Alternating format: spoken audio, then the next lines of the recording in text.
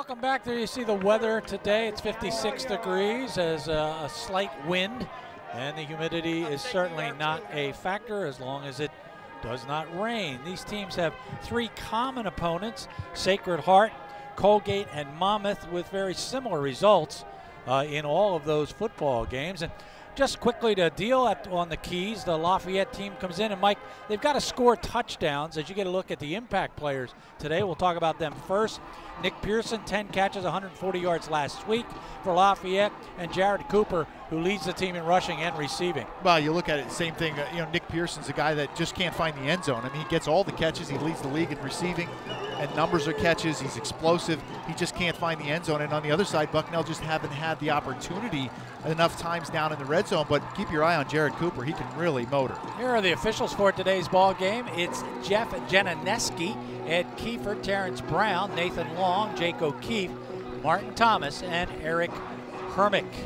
Getting ready to kick the ball off is Ethan Torres. Selwyn Simpson is back, along with J.J. Younger to receive the kickoff. And again, quickly, uh, the keys today Lafayette needs to score. They're just getting field goals, they're not getting touchdowns. And Bucknell needs to win the turnover battle. They've already created 19 turnovers by the opponent eight interceptions and 11 fumble recoveries. Turnovers are going to be huge in this game. Oh, they absolutely are. Got to hang on to the football. Lafayette did not do that last week, and this could be a big play to start. I mean, a great kickoff team coverage-wise, and Lafayette leads the league in kickoff returns. So here is the kickoff. It's end over end, but it is short. A fair catch will be called for by Yazir. Check that. It's 44, and that is Will Eisler. And let's go down to John Leone for his first report. Thank you, Gary. You know, you guys are talking about the similarities in these two teams this afternoon, but one area where there might be a difference is on special teams. Alex Pechin is probably for sure one of the best punters in the country. Field position could be very important. On the other side of that coin, Lafayette is one of the few teams in the league who has two special teams returns for touchdowns. An interesting uh, part of the game to watch. Back to you guys. Well, the ball is placed on the 25-yard line. C.J. Emile is in the backfield with quarterback Sean O'Malley. O'Malley is completing 55% of his passes, but he has thrown eight interceptions. He will not throw here as he gets it right to our impact player. Nick Pearson with the catch. For Pearson, that is his 30th catch of the year. Tackle is made by Garrett Van Vanderlee. Well, you saw right there, Sean O'Malley. He's going to end up throwing the most passes probably in his Lafayette career here. Uh, uh, completion percentage has to go up. C.J. Emile didn't play a lot in the backfield last week. The week before had a couple touchdowns, and you see, I think the most electric player in the league right there, Nick Pearson, with a nice slant for a first down. And we do want to tell everybody we're doing this as a joint broadcast with Bucknell University, so we're happy to enjoy Masson, the Patriot League Network, WBPH Channel 60, and RCN Television. All of them, the family of networks bringing today's ball game your way. Selwyn Simpson makes the carry. Matt Robinson, the middle linebacker, who came in with 51 tackles, is there to make the tackle to the 46. That's a gain of eight. Well, it's a defense you're going to see move around a lot. Three down linemen. They're going to pick four or five linebackers, kind of mix them in. So they're going to really kind of try to confuse Sean O'Malley today offensively. From the 46, brings up a second and a couple. And the handoff again to Simpson. He's got running room. In fact, he had a nice hole opened up and he'll get the ball down into Bucknell territory all the way down to the 42-yard line. A gain of 12 before Rick Mottram is there to make the tackle. He had help from Joe Laura, but three good plays, Mike, on first downs. Well, you said it, running behind Kevin Zadoveski and John Burke up front, just taking it to the right side. Gavin Barkley, a big man, 6'5", 295 pounds. And so far, Lafayette over that right side. Something, Gary, they really haven't done all year is run the ball effectively. But you see, if that happens, they're going to be able to open things up down the field for Sean O'Malley. Well, they already have 20 yards on the ground and 13 yards in the air. Back to throw, looking to go downfield. Fire, he's got a man open, and Stilianos drops the football. Steve Stilianos was open, trying to make his eighth catch of the year. He does not. Joe Laura is there with the coverage. Yeah, this is a secondary that's very good. They're going to be close on everybody. Stilianos, just a freshman, had a touchdown a couple weeks ago against Central Connecticut. Sean O'Malley doing a good job. Good protection. Remember, this is a team, Lafayette, that has given up the least amount of sacks, just 10 in the league, and four of those actually came last week. So they protect Sean O'Malley well. He stepped up in the pocket, just dropped by the freshman. So it brings up a second and 10. The first time they don't stay ahead of the sticks on first down. Hand the ball off, looking to go, and nowhere. as Selwyn Simpson is going to get nailed. Coming up to make the tackle is Rick Mottram, number 52. The sophomore is out of Cream Ridge, New Jersey. That's his 11th tackle of the year. Well, again, this is where they're trying to confuse Lafayette up front. So you see Mottram just kind of step up in the gap. A lot of slanting going on. You see, when they take those defensive linemen and they run them through a certain gap, may align, head up, and then take another gap. Very difficult for an offensive line that's going to have to deal with a lot of movement from defensive linemen as well as adding in. You see him again here, add a linebacker into the mix. Lafayette has had trouble getting first downs on negative plays in a series catching the ball, almost stumbling and falling down is J.J. Younger. Younger's going to get it back to not quite the original line of scrimmage, to the 43. So he'll pick up three yards on the pass play, but nowhere near a first down for Lafayette. A decision here for John Garrett, and they'll punt it away. Yeah, good again. Good job forcing that third down and long. And those are the situations we touched upon at the beginning is staying out of those really tough down and distances. And Lafayette on that first down play dropped by the freshman Stilianos would have kept that drive alive. Brian Marine is back to receive the punt. He averages 11 yards per punt return. In fact, check that. They've got Alan Butler back there. Marine is normally the guy they put back. Not a great punt at all, as the ball will be placed at the 17 yard line. Just a 26 yard punt. When we come back, it's the Bison that will have the football for the first time. We look at a stat comparison brought to you by Easton Hospital. If you need an ER fast, try their ER. With their 30 minute or less ER pledge, you won't want to go anywhere else. So you get a look at the numbers so far. Jared Cooper is in the backfield, but back to throw the ball was Bitecofer, and Bitecofer throws the ball behind his intended receiver, Justin Bethay. Coverage was supplied by Lafayette's Major Jordan. Let me Let's take a look at the offense. Well, Justin Bethay is a guy you got to keep an eye on, a wide receiver. He can actually stretch the field. And Jared Cooper, again, he leads the lead, the uh, team in not only rushing but also receiving. So out of the backfield, very good. They've struggled a little bit offensively up front with their line. And Cooper is just a freshman out of Westchester, Pennsylvania. You get your first look at him. He's not going anywhere. Michael Root is right down there below his knees and puts him down right at the line of scrimmage.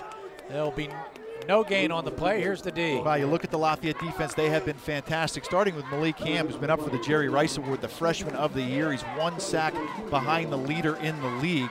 Uh, and Harrison Greenhill transfer from Army's done a great job. They, their strength of their defense is really this pass rush, and it's going to be on display right here. Passing situation for Bitecofer. He completes 53% of his passes. We've got movement along the line of scrimmage, and we'll wait for the call. Bitecofer has thrown seven Offside. interceptions this year. Defense number 97. Five yard penalty remains third down. Big penalty right there, Gary. Takes it from third down and 10 to third and five. So uh, you got to kind of maybe revamp what you're going to do offensively. You can change the play now here. You don't have to work routes all the way down the field. And for Lafayette, they looked like they were going to bring a little bit of pressure We'll see if they stay with that. They play a lot of man free, so you see a lot of bump and run with one free safety in the middle of the field. Third and five instead of third and ten. Here comes the pressure. Two-step drop. Coffer gets it away. It's a first down. Catching the football and moving with it is Brandon Sanders. And Sanders with a big pickup takes it into Lafayette territory before Trent Crossan is there to knock him out down to the 44 yard line, a 34 yard pitching catch. Now you see how big that penalty was against Ryan Barnett for jumping off sides, but nice job by Bitecofer. Good pickup of the blitz. Lafayette brought six guys up front. They were all picked up, and then the missed tackle. You know, Sanders is a guy that can really motor. A lot of touchdowns last year. He is a freshman out of Downingtown, Pennsylvania. 21 catches now. So it's first and 10. Back to throw, Bitecofer again. And again, it's caught by Brandon Sanders, who is able to stay on his feet and dive forward to get to about the 35 yard line. Tackle is made by Trey Jordan. He's the first one to get there, along with Jerry Poe and Yazir Thomas, and that's a gain of nine. Well, Sanders is a guy, Gary, you and I watched at St. Joe's Prep. Yeah, just a great receiver. He can go down the field. He can make plays down the field. Does a great job vertically stretching you, and there you can see what he can do underneath as well. And they can do just about anything they want. Bucknell on this play, they'll decide to throw it. They were looking for Jared Cooper. He was covered up, and now running is Bitecofer. He's not a guy who likes to run all that much, but he certainly did not hesitate there. There's a flag on the play, however, so hold everything. Major Jordan in on that tackle. Bitecofer with a minus 41 yards rushing on the year. You wonder what this penalty is going to be because Greenhill lost his helmet and then continued to run down the field. So you wonder if this is going to be a penalty for participation without the helmet. Personal foul. Defense, number 90, participating in a play after his helmet came off. Half the distance to the goal, automatic first down. So the play picks up. We'll have to wait and see exactly where they uh, take the ball to to determine as you get a look at the replay. As the gain is down to the 26 yard line. So that was a nine yard run and then tack on a 15 yard penalty, not quite 15 as the ball goes down to the 15 yard line. The funny thing, Harrison Greenhill wasn't in on the tackle. All he did was pursue the play, and they threw a 15 yard penalty on him for getting up and being a football player. Yeah, if you lose your helmet, you have to basically sit the rest of the play out. Here's a quick slant, and that's an easy touchdown. Down the field as the ball is caught by Bucknell's Andrew Hours. That is his 14th catch, his second touchdown catch of the year for Logan Bitecofer. That for him is touchdown number five. Yeah, RPO right here. Look it in. You see the pressure. The conflict player comes on the blitz on the outside. That was Jerry Poe and he left a wide open seam route there. Trent Crossan just did not get over. So you go back to the five yard penalty against Lafayette on third down and 10 for jumping off sides, and it really sparks a great drive by the Bucknell Bison. In to kick the extra point is Ethan Torres. The kick is up. The kick is good. The clock reads 9 minutes and 27 seconds. The scoreboard Bucknell 7, Lafayette nothing. We'll Timeout recap on the field. when we come back.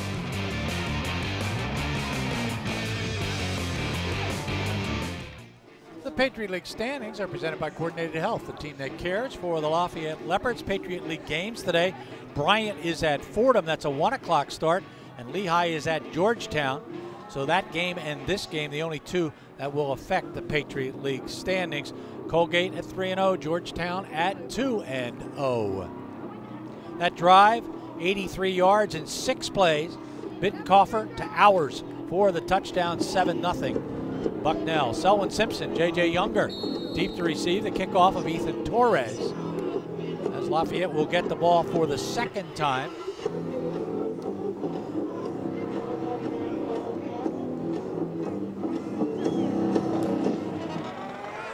This is going to be a short kick that will be collected by J.J. Younger. Younger has a hole. Watch out. He almost stays on his feet to the 50 yard line, 45 40. 35 30 finally gets knocked out of bounds. Jack Chambers is there to knock him out of bounds at the 36 yard line. Watch this return again. Yeah, again, just so electric. Watch him hit the hole very quickly. Gets through it right there. Watch him put his foot in the ground. Amazing job keeping his balance as he gets around the Bucknell defender and continues that play. The defender couldn't come up and make the tackle. That was Mike Caruso. But J.J. Younger, he's a guy that returned one earlier in the Lafayette season for 95 yards, and it's exactly really what the Leopards needed after a really nice drive by Bucknell on a third down and five that they converted. So great field position for the Leopards. First and 10 from the 36. They will readjust Will Eisler to the right side of the field. In the backfield is Selwyn Simpson. He's got the ball. He had a slight hole. He may have gotten a yard at best. And then that hole closed very, very quickly. As coming up to make the tackle was Sammy Chitty, along with uh, Roger Milano. Well, if you follow the uh, offensive line for Lafayette, they've got to do better just kind of getting that initial push. But you see the extra guys that Bucknell adds in. They put sometimes five and six guys up on the line of scrimmage covering each and every offensive player. And what that is is basically one-on-one football. And that was really a nice scrape across by the linebacker to meet, to meet Selwyn Simpson in the hole. Bucknell gives up just 12.3 points, or they get that many per ball game, but they're a difficult defense to block against because they move so many people around before the ball is snapped. Simpson will carry to the 28 yard line, a gain of seven. Lafayette will look at a third and two as the tackle made by Matt Robinson, the middle linebacker. Now, both these teams have really struggled on third down conversions. Lafayette been better lately, now second in the league at 32.5%, but early in the year, they were more toward the bottom. They've done a really nice job lately of converting these thirds downs, especially against Central Connecticut, where they converted the majority, almost 70%. Get our first look at C.J. Emil in the backfield. He'll get the football. He will not. It's kept by Sean O'Malley, and O'Malley looks like he got the first down. As they're going to say, he went out of bounds at the 22-yard line. Grayson Cherubino there to make the tackle. That's going to be a seven-yard pickup. Lafayette's third first down. Well, O'Malley really not known for his running, but this is a little bit of a wrinkle right here. You see the fake inside to C.J. Emil, who had three touchdowns a couple weeks ago, and you see Sean O'Malley, just an easy read for him. The DN closes down. He keeps the football. You know, Sean's a guy then can move around in the pocket, and he showed it right there. Emil averages 3.3 yards per carry. He has a couple of touchdowns this year and a punt return touchdown. High snap. O'Malley collects it. Now he'll look for a white shirt. He'll find one. As this one will be caught downfield by Zadok Scott. As the tackle is made by Brian Marine along with help from Joe Lauro. But that's going to be good enough for a first down to the 10, a gain of a dozen. Well, Zadok Scott coming off a little bit of an injury. He's just a freshman as well, but a huge target. More of kind of like an H guy, can play inside, can play outside, but he gives Lafayette a lot of height and a lot of that toughness you need down in the red zone. First and goal to go, but it's first and 10 because the ball exactly on the Bucknell 10 yard line. Again, it's Eisler readjusting this time to the left side. Fake the handoff and go. Keeping the football and going nowhere. That's going to be a loss of a yard as Sean O'Malley got tackled and hit by Garrett Van Italy, and that looked like it might have been a busted play, Mike. Yeah, I think he turned to his right, and the running back was going to his left, as you can see. But he did the smart thing. He just followed C.J. Emil out into the flat doesn't pick up maybe a yard there, I guess, but uh, he turned the wrong way, and C.J. Emil might have had a big hole if he would have got the football. So Lafayette again, just kind of self-inflicting some of the wounds. And you wonder, wonder, Gary, how big a touchdown here, an answering touchdown would be for the Leopards. Well, there's that negative play that has haunted them all year long on their drives. Let's see if they can overcome the negativity of just the yard. Again, O'Malley up the middle on a quarterback draw. So Lafayette using the legs of Sean O'Malley a little more than they have all season long. Rick Mottram is there again to make the tackle at the four, a gain of seven. Yeah, good call right there as you spread them out with four wide receivers. And Sean O'Malley, big kid, put on 25 pounds between his freshman and sophomore year. See CJ come up, make a pretty good block on the middle linebacker. And again, 225 pound quarterback. A nice little series for Lafayette, all opened up by that long kickoff return by J.J. Younger. Here's a guy you got to keep your eye on on the RPOs is that Quinn Revere in that slot. Quinn Revere wears number eight. He has 22 catches on the year. Third and goal to go from the four. Give the ball to Emil. Can he get into the end zone? He'll put his head down. And no signal yet. They're going to say he's down at the one foot line. So Lafayette will look at a fourth and less than a yard to try to tie this game up. It's almost a touchdown when the official puts the ball down on the line. How about it? It's right on the line. And this has got a really great call as they bring John Burke around, and it's hard to believe. As you see right there, CJ on the line. They just didn't give it to him. So Lafayette, this is what you have to do, Carey. You can't kick a field goal from here. You wonder if they put Sean O'Malley under the center here. They're not going to. Selwyn Simpson is in the backfield this time.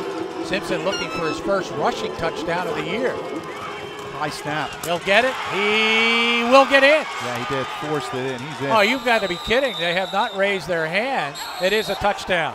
They wanted to make sure, but it took them a long time to raise their hands for that one yard gain. Yeah, that's a great job by Selwyn Simpson. Again, the biggest, strongest running back Lafayette has. Watch the second effort by some high snap. Down. Boom, he just runs right through the end right there, and he gets over the line of scrimmage. Definitely did break the plane there. They will review it as they do all of them. As you see, Van Italy came in, made the initial hit. But again, Gary, you said it. Those little self-inflicted wounds for Lafayette, the high snap almost took them out of that touchdown as the touchdown is confirmed. Jeff so the TD, on. TD is good, a 36-yard drive in eight plays, 4.23 on the clock. And it is Jeff Cordenbrock who took over the kicking duties a couple of games ago. He is three for three in extra points. And the kick is up, and his parents sitting right down in front of us. And Sean O'Malley's parents from Beverly Hills, California, they've made every ball game. We know you're going to come back because we've got ourselves a 7-7 tie. Timeout on the field. Welcome back. The drive we mentioned 36 yards in eight plays. The shocker for Lafayette is seven of those plays were rushing plays. They have been a team that has not been able to rush the football all year, just 51 yards per game. But they did rush the ball seven times, and they got the touchdown via the rush. You see Jacob Bissell here kicking off for Lafayette, the senior. Brian Marine, Brandon. Sanders back to receive it.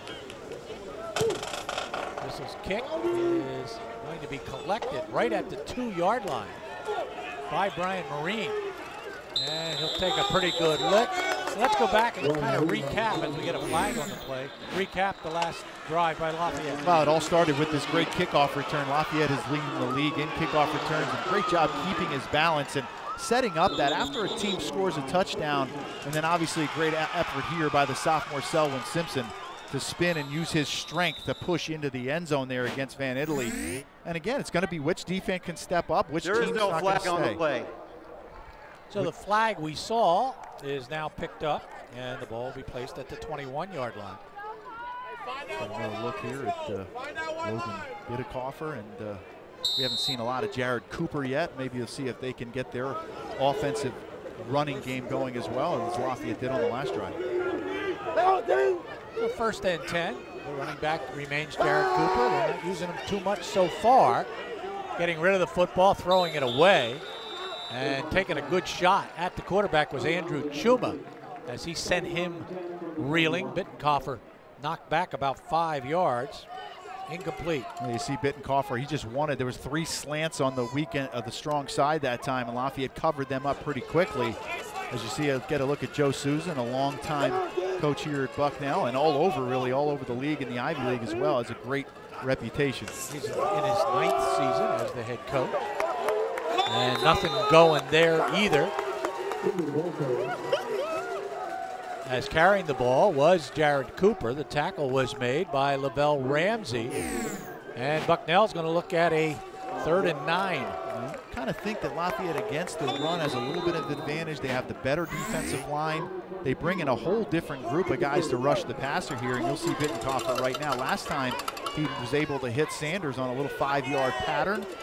And Lafayette jumped off sides, gave him a third and five, made it a little easier. But again, Lafayette showing a little bit of pressure, trying to put some pressure on Bitecofer, the sophomore. Put their tight end in the backfield to block. That's a good catch, but it's not a first down yet. And they'll mark it just shy of the first down. The ball was caught by Andrew Hours. The ball, the tackle was made by Trent Crossan.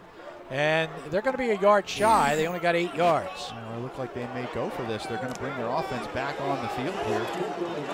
Third down or fourth down, like you said, Gary, in about a half a yard. And that's a great route by Hours right there, just moving up the field, taking on the safety, a little bit of a push off at the top of the route. I see Bucknell's going to go for this one. Wow, this is a big play here early on from their own 30 yard line. Now we're going to get a timeout. The ruling on the field of being short of the uh, short of the line to gain is under review. He just crossed the 30. He obviously had to get to the 31. All right, let's go down to John Leone.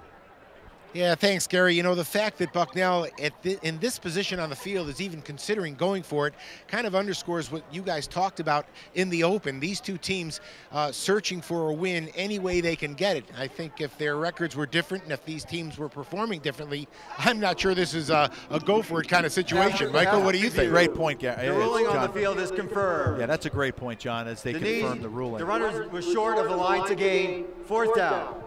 Yeah, you're look you're looking at two teams that really need to create offense and need to stay on the field offensively. But great route by Hours right there. He catches the ball. He's going to get it. Good job by Trent Crossan.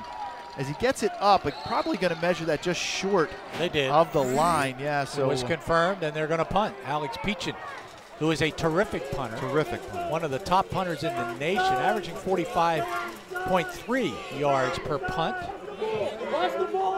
Back to receive the punt is CJ Emil.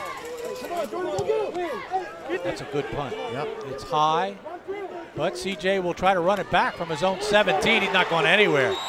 As that tackle was made by Ster Sterling Deary, who got that there, down there very quickly. Another freshman out of Flower Mound, Texas. You don't know anything about Flower Mound, Texas. That is some great football down there. He just does a great job. And CJ Emil is so terrific. A couple weeks ago, returned one for a touchdown for Lafayette against Central Connecticut. So that is terrific punt, terrific coverage. 53 yard punt. Here's John. Yeah, Gary Michael, as soon as I sent it back to you guys, I thought to myself, why do you not use the best weapon you may have on your sideline? Alex Pechin just demonstrated why he's one of the best in the country. Back to Absolutely. you guys. And you're going to see Lafayette come out here against Sean O'Malley, three wide receivers. Be, be amazed if Lafayette takes a shot down the field. They like to do that early in ball games. Like to throw. Instead, they'll get it to Selwyn Simpson out of the backfield on the flat. He'll pick it up, turn it upfield, and get a first down. That's a nice first down play for the Leopards. Tackle made by Matt Robinson. He's been in on a bunch already. Mentioned he had 51 tackles coming in. The gain to the 29 is a gain of 11. Now this is really nice play. Just get the ball out to the flats, and I kind of went over this earlier in the week with my inside the huddle that I do is Lafayette, if they're going to be successful today, they need to use the flats. The soft part of this defense is really going to be outside the tackle box in the flat area. And if you can complete a lot of quick game and a lot of these swing passes, you're going to pick up first downs.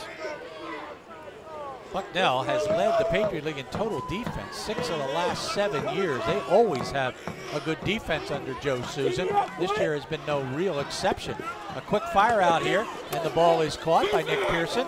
He manages to turn it upfield for maybe an extra yard, and here comes a penalty flag flying in. I think we're going to have a face mask. And it was right on the sideline in front of the head linesman, and he's talking to the back judge right now, kind of telling him, I don't think I saw that. But uh, it, it looked like a face mask to me, a, a kind of an incidental face mask as maybe we can get another look at Pearson on the sideline who catches his second ball of the day. We'll wait for the call from Jeff Jananeski. I said, "What? Please pronounce your name for me." And the other official said, "We just call him Jeff G." I think they're going to wave this one off, Gary.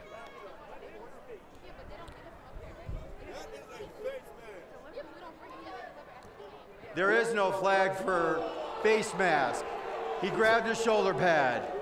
Well, we'll get a look and see if that happened. But it came from the back judge, and they got together. Let's see if they, see if they were correct or not. But it's going to be a quick sprint out again, taking advantage of the flats. There he is, right there.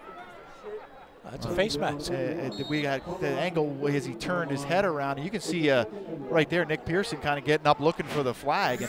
And you don't see the head turn that much if it's a shoulder pad. So they picked up nine, brings up a second and one from the 38 yard line.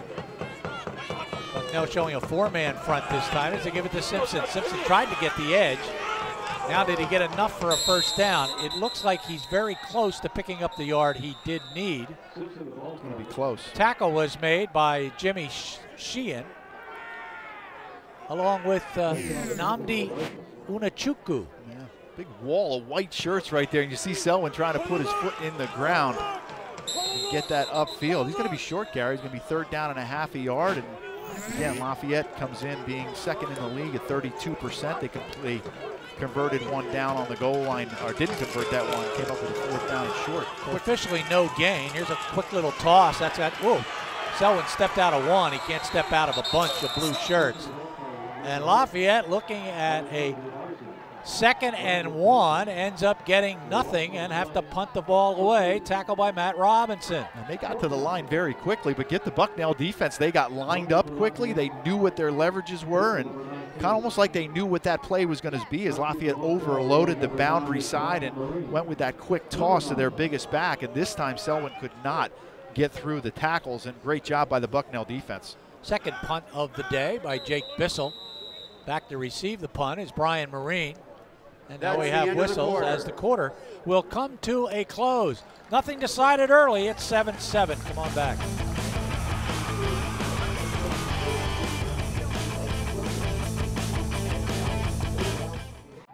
We are back and we're ready again for Jake Bissell to punt the ball away. Brian Marine is back to return it. He averages 11 yards per return. Bissell has a lot of green to work with here. if He wants to let one go. This one will be played at the 28 yard line. as that will be a 37-yard punt by Bissell. A decent field position for Bucknell as they will have the ball for the third time today. They started out the game and converted a third down, had a nice couple completions there, kind of took the handcuffs off Bitecofer on third down, and they've really kind of yet to establish the running game. Lafayette probably running the ball better than they have all year long in the first quarter there, but so far in the first quarter for uh, for Bucknell, they've done most of it through the air, just three carries for eight yards on the ground. First and 10, Jared Cooper will get the ball. So they'll carry for the fourth time. He runs into Malik Hamm, also Demetrius Breedlove. And the gain is a small one of a couple of yards. Jared Cooper, just a freshman, not very big, but he does a nice job kind of hiding behind the offensive line. A great run I saw on film against Holy Cross where he kind of just bounced around, got behind some of them big offensive linemen, and then turned on the jet. So he definitely has the speed, and he's kind of a home run hitter for them. Second and eight. Not this time. They fake it to him, and now looking to make something happen with his legs. Bitecofer, he'll get run out of bounds as chasing him down was Demetrius Breedlove. Pressure provided by Keith Earl early, and that uh, flushed him out of the pocket. Yeah, they were looking for Brandon Sanders on a deep cross, but really nice job by the linebacker that time, Major Jordan for Lafayette, who found him and looked him up and took everything away. And then you saw Breedlove right there. Lafayette very anxious to get to the quarterback. We talked about Malik Hamm, we talked about Breedlove, and We'll see if Lafayette's defense can come up big here. And for Bucknell, the wide receivers, see if they try to maybe get the ball to the flat one-on-one -on -one with some of these receivers. They'd like to get it to Cooper on most occasions. Not this time, though. They're going downfield deep, and that's a great catch. Getting up in top is Justin Bethay as the coverage by Eric Mitchell, but Bethay saw it all the way, collected it at the 36 yard line. A nice toss. That is a 30 yard pickup. Well, when you show bump and run, a lot of times the conversion is just run the fade, and you can see that he gave him enough room. That's a beautiful throw by Logan down the sideline and not finding the football. Eric Mitchell, the junior, just didn't get his head around in time, but Bethay, we talked about him being able to go up and take that out of the air. Beautiful play. Another big third down conversion. Bucknell came in converting just 22% of them. This time running through a tackle is Jared Cooper before he runs into Demetrius Breedlove.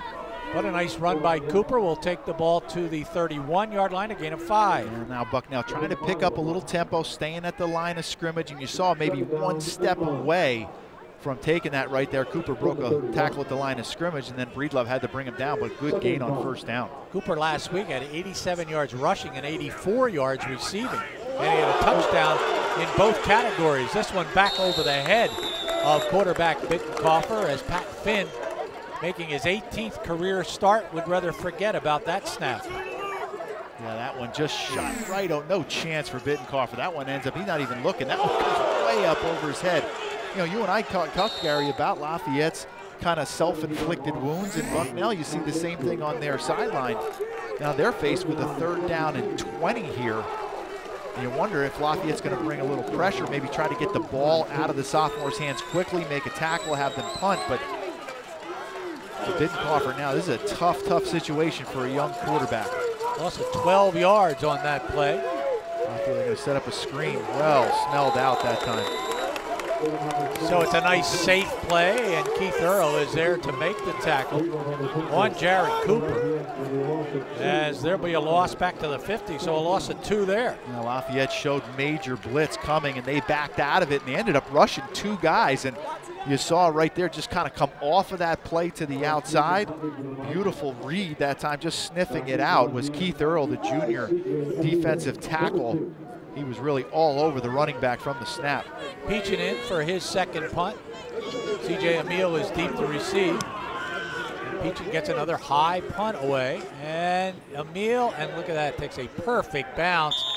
And they're going to say it is down inside the one yard line. It could not have been a better punt by Alex Pechin, the senior. We'll be back.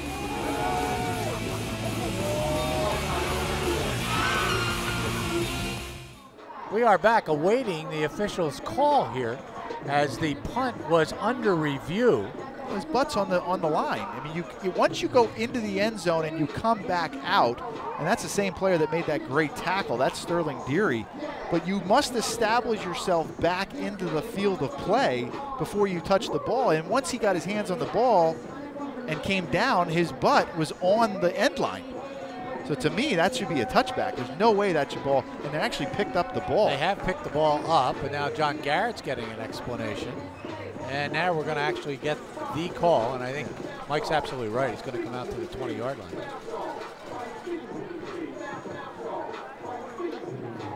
After video review, the ruling on the field has been changed. The ball broke the plane of the goal line, therefore it's a touchback. The ball will be placed at the 20-yard line. First down. So it ends up being a 50-yard punt, but as far as Lafayette's concerned, it's only a net 30 yards as opposed to a net 49. Well, you can see CJ moving away from it. It lands at the four, and then you see Deary. He's in the end zone, but once the ball crosses the plane, just like you do in a touchdown, once it crosses the plane, and you can see his body is touching the line as well. So I think that's a good call. So this officiating crew so far has had a couple tough calls. All right, let's go down to John. He's watching it all down there. Yeah, Gary, big special teams play right there. More important, on the Lafayette sideline, J.J. Younger has ice on his elbow. He's down for the half. He'll be reevaluated at halftime. Could be a big loss for the Leopards. Back to you. J.J., of course, uh, their kickoff returns and also in there for some offense. Rolling, firing, and that's a completed pass as Selwyn Simpson will turn and get a first down.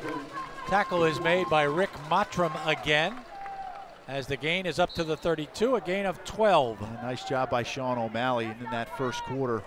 O'Malley five for six for 48 yards, somewhat of a streaky thrower, but they're getting him out a little bit on the edge. Last week they really had him sitting at that kind of standard target point, seven, eight yards behind the line of scrimmage. Very tough to do, but they're moving him around a lot. Right now, six for seven for 60 yards, and doing a nice job getting his team going again. First and 10 from the 32 yard line. Fake the pitch, fire out here, catching the ball and turning it upfield is Simpson. Oh, check it. That is 25 Grand Jean. Chris Grand Jean, who had six catches in the Central Connecticut game, now has eight on the season. And the gain to the 34 is a pickup of a couple. Yeah, Lafayette student body left that time. Just a big fake to the outside, similar to the play they ran where Bucknell blew it up on the third down and one. They got the ball back outside to Chris Grangini. You're kind of waiting for Lafayette to get Nick Pearson involved on something kind of trying to blow the top off the defense a little bit. Brian Marine got up quickly on Grangine, didn't allow him to do anything fancy. Hand the ball off to Pearson. Pearson, who can motor, will get the first down as he will carry the ball up to the 44-yard line. Sam Chitty is there to make the tackle. Chitty leads the team in tackles for a loss with 10 of them. The gain is a gain of 10. When, you know, when he gets the ball, Gary, you kind of hold your breath because you just you know that he can go and dart through that secondary. And Lafayette, whenever they get things going, they they really do it with a lot of touches from number six. Simpson back in the backfield from the 44-yard line. Lafayette with 48 yards rushing, 62 in the air. Bucknell now with three down linemen, four linebackers. Here comes the blitz from them. And the ball off, cutting up inside, Simpson. And he'll drag some people. That's a nice run. That's a good, hard four or five yard pickup. Give him four before he's brought down by Matt Robinson. Selwyn getting up rather slowly after the run, the gain to the 48. And the Bucknell defense, if they kind of have a weakness, it's really those three down linemen. Remember last year they had Amir Abdullah, one of the best defensive linemen. I mean, Abdullah obviously got a cup of coffee in the NFL. Not sure if he's still on a team, but he was just so hard to block. You had to kind of put two guys on him. But right now, just really kind of light up front, and Lafayette, one of the biggest offensive lines in the league. So the Leopards looking at a second and six. Back to throw. Here's another quick out. Again, it's Grand Jean. This time he gets a little bit more room before he's run out of bounds by Fisayoli Ololea out of Lititz, Pennsylvania. Fisayo Olulea. Yeah, Lititz, if you don't know where Lititz is, that's near Lancaster. But you can see Lafayette, again, taking advantage of the flat areas and getting the ball out quick. But, Gary, this is a huge play. Lafayette, we talked about how good they are sometimes on third down, and then sometimes they shoot themselves in the foot. Last time they ran the ball in this situation, and Bucknell was up to the task. Again, midfield, it's a huge play to try to keep this drive alive. They need a couple of yards. They'll get a couple of yards as breaking through with a good run. Carrying the ball is C.J. Emil, and he hit that hole very rapidly. And a nice hole opened up by the Lafayette offensive line. Give credit to Marotti and Greaser and Zadaveski and Burke and Barkley. You said it. Watch the block right there. You see Zadaveski does a nice job. He gets up the field, but he doesn't vacate his spot. Kind of holds his ground and then picks up the linebacker that was kind of coming across the other side. But really nice job right there. You said it, Gary. Marotti did a nice job. Greaser did a nice job as well. And Lafayette, big first down there. Gain of 10. First down number eight for the Leopards. Again, it's Simpson. This time the hole closed very quickly. It was there and then it wasn't. As a nice job uh, by 41 Sam Chitty to close it up, along with 26 Joe Lauro. So a good job by the Bucknell defense, no gain. Yeah, Joe Lauro's a terrific ball player. Makes plays not only in the secondary, but look at how close he plays to the line of scrimmage. He reminds me a little bit. I'm a Jet fan. I love Jamal Adams. You know, a guy that can play in the box and then still be able to play deep in the secondary. That's a terrific pay by Lauro, especially on first down when you want to try to force the Leopards back into those second and long and third and long situations. I'm sure there's another Jet fan out there that understands the illusion you just made. Back to throw. O'Malley over the middle has his man. That's caught by Quinn Revere. There's the Quinn Revere guy that Mike was talking about. Down to the 25 yard line. Benson on the tackle along with Robinson.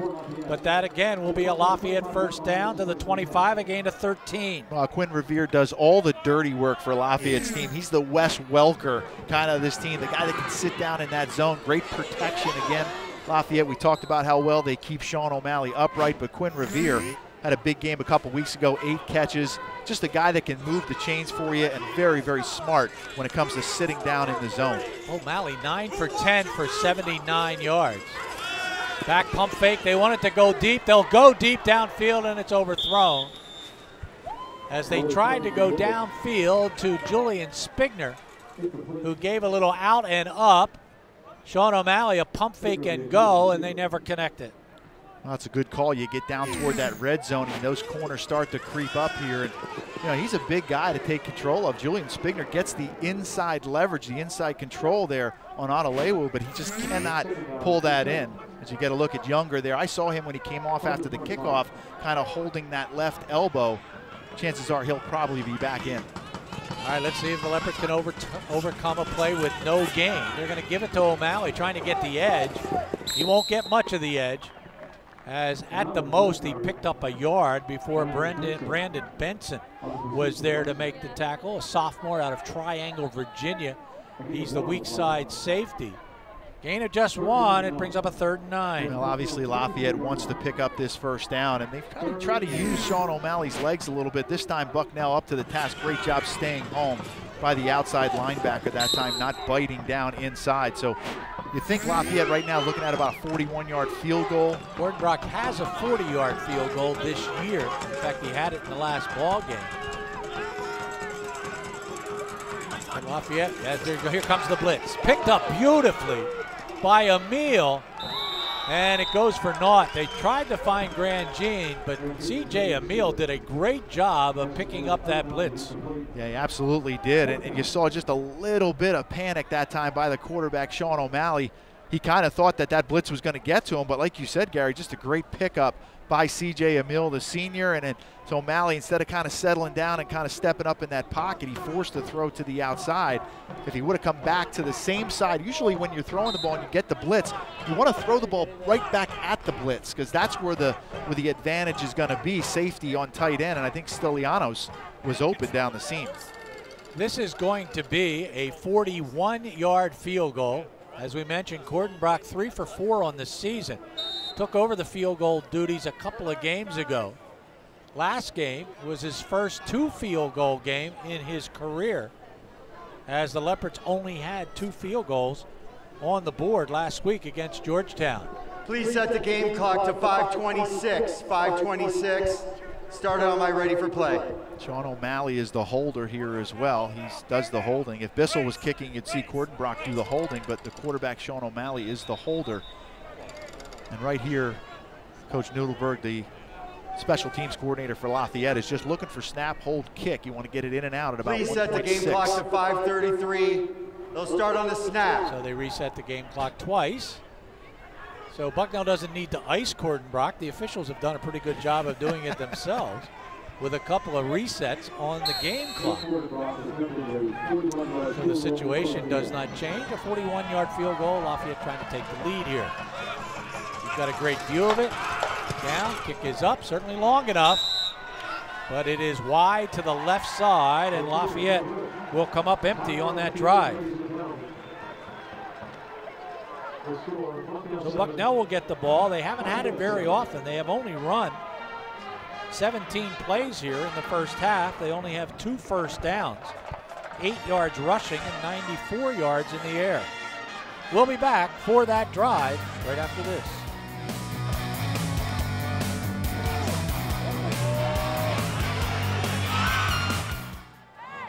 We are back. Bucknell has the football on their own 24 yard line, their fourth possession of the first half.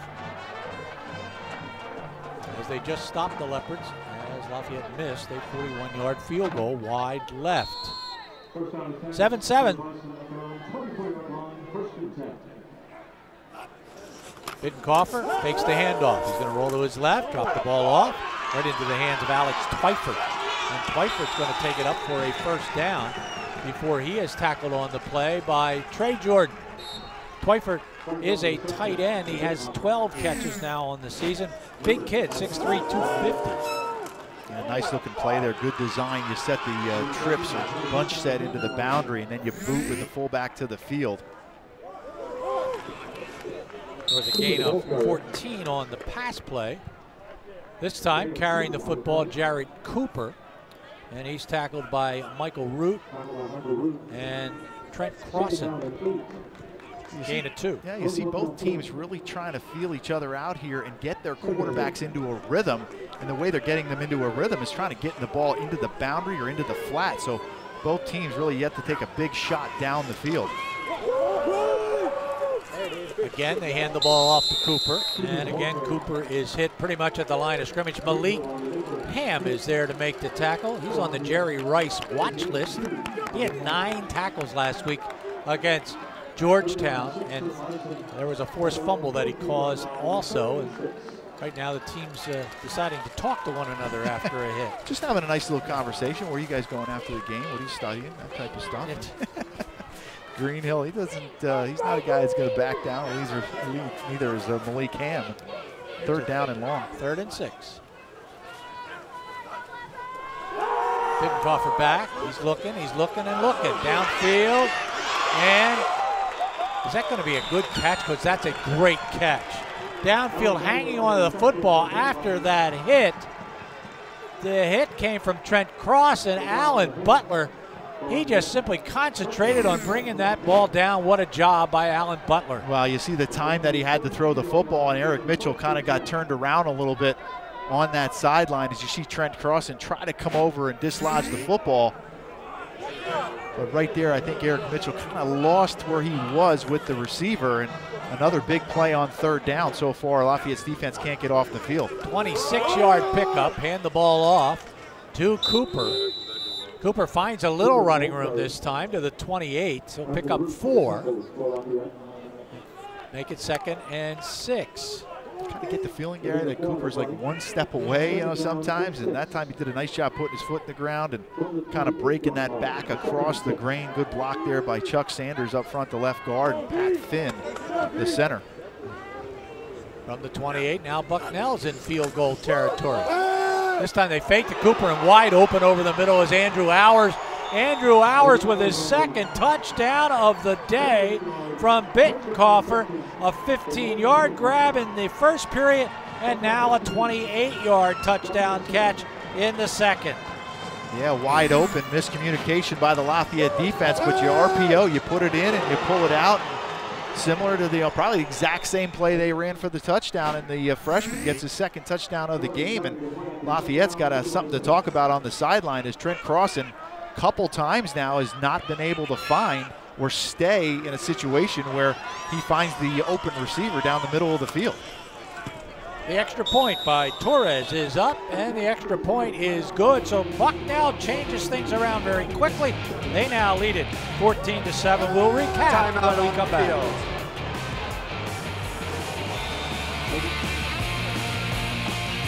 We are back. That drive, by the way, covered 76 yards in six plays. It took two minutes and 34 seconds. And Bucknell is up by a 14 to 7 score on the Bitecofer to ours touchdown pass. How about both these quarterbacks, Gary? 18 for 23 for 240 yards and two touchdowns. Both quarterbacks that have been somewhat maligned here, and both of them are stepping up today. Simpson and Emil are back to receive the kickoff, and it will come to Simpson if he decides to pick it up. Well, it takes a roll for Bucknell. Now Simpson doesn't have a lot of running room. As that ball just simply took a Bucknell roll, and uh, Lafayette will be deep in their own territory. Here's the TD. Well, you see him put the football in. This is actually the first play of the drive that got things going there as they dump it off into the flat, and this is going to culminate with that same route they ran down the seam. Here it is. Put it in, pull it back out. We got cut off there a little bit, but you saw just a, a beautiful route in the freshman hours as two touchdowns really on the exact same play. Lafayette defensively he's got to find a way to sew up that RPO that Bitecofer's running so well right now. New running back for Lafayette, it's Mike Dunn in there from Yarmouth Port, Massachusetts. Back to throw. Here's a slant. And it's still up in the air. It's intercepted. As the ball will be caught by Jarrett Van Italy, who was a star last week. Last week, eight tackles, three tackles for a loss, a sack, a forced fumble, and now he has himself an interception, his first of the year. Yeah, just off the hand, same play. Lafayette opened up the uh, the day uh, with that slant play inside to Pearson, as you see right there. Alawe get his hands in there, tap that up into the the air, and you know the, I watched a couple games on these guys, and they are really, really. Bison got a great secondary, very opportunistic, and exactly what the Leopards did not need. Two minutes and 43 seconds before the end of the half. This is a sudden change. You got to be aware if you're Lafayette of them going right to the end zone again on the first play. The ball on the 23 yard line. That was the ninth Bucknell interception of the year. And now running around Bitecofer, he'll go down. Nice play by Lafayette's Andrew Chuma, who got in there to make get the sack. Andrew Chuma. For him, that is his third sack of the season. Now Bucknell runs the exact same play, just trying to get the ball to the outside. Chuma almost loses contain, and Bitecofer almost loses the football. But for the senior, that is a big time play to kind of push them out of field goal range, which is huge. If Lafayette can turn this into a field goal, that would be a win. As we approach the two minute mark, it brings up a second and 23 on a loss of 13. Bitecofer back, drops the ball into the side to Brandon Sanders. Sanders doesn't get much. Lafayette covers it up very nicely. That's a gain of just two yards. And if you're Bucknell right now, what you want to do is try to pick up eight or 10 yards. This one was really smelled out well into the boundary. They give the ball quickly out there, and you see right there Jerry Poe. He's a handful. He takes on the receiver, blows him up into the play, and then the unblocked Yasir Thomas makes the tackle. So if you're Bucknell here, you want to try to obviously run the clock down as they're doing right now. You wonder maybe why Lafayette's not using a timeout, try to get an extra possession. But if you pick up eight, nine, 10 yards, you have a chance to go up here by 10 points. Torres is their field goal kicker. He's three for four on the year, so he's been accurate, but his longest is 26 yards. As they look at a third and 21, and now we are going to get a timeout from Bucknell. Timeout, Bucknell. That's their first time out of the half. Bucknell has a bye week after the ball game today, and then they'll take on Lehigh in two weeks. For Lafayette, they'll take on Fordham at Fordham, so they'll travel to Bronx, New York. That's a one o'clock game. You can see that game on the Patriot League Network, as the Lafayette Sports Network will not be there to bring you that one. We will be back against Holy Cross in two weeks for a 12:30 start. That ball game being played at Fisher Stadium. great call here for Bucknell would be a draw inside. Lafayette looking for the pass. And if you can kind of maybe pop Jared Cooper for, you know, maybe not 20 yards in the first down, but if you can pick up 8, 9, and 10, you got an opportunity here to go in at half by up by 10 and then get the football, Gary, coming out after halftime as well. They have a minute and 14 seconds to work with. They have two timeouts left. Lafayette has not used the timeout here in the first half. So they don't need all 21. They just like to get in a position to kick a field goal and get up by 10. Bitecofer, two-step drop, looking downfield. He flips it underneath as the ball is caught by Jared Cooper. Cooper will take it to the 27 before Jerry Poe will put him down. A gain of seven. And Mike, they're going to be looking at a 44-yarder if they decide to kick a That's field their goal first here. timeout of the half. And 30 Lafayette, second they're going to call a timeout. timeout here, maybe to get one more possession. But you know, Bucknell actually, I think they're thinking about possibly going for a good check down there by Bitecofer, and Lafayette rallies to make the play and brings up fourth down and 14. You're right on the edge right there, 45, 44 yard field goal.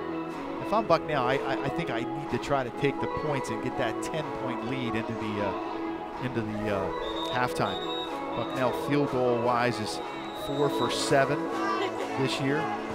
They are four for seven, as Torres is three for four.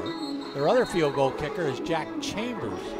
He is one for three, but he has a longer one made, a 34-yarder, and they're going to run the. They're going to run a play here. Yeah, I kind of like this call as well. You you get a big play here for a first down or for a touchdown, and you get the ball coming out of half. The guy you got to watch here is Ours, who's got two touchdowns down the seam. Powers is in a slot to the right side. Back to throw. Bitecofer, he's going. No, he doesn't go down. A missed sack by Lafayette. And sliding, and they'll get the ball back as Bitecofer uh, slid and then got hit by Keith Earl at the 21. So they only gained six. They'll turn the ball over on downs. Uh, Keith Earl had him in the back. Watch Keith Earl just kind of dip his shoulder here and get right to the quarterback.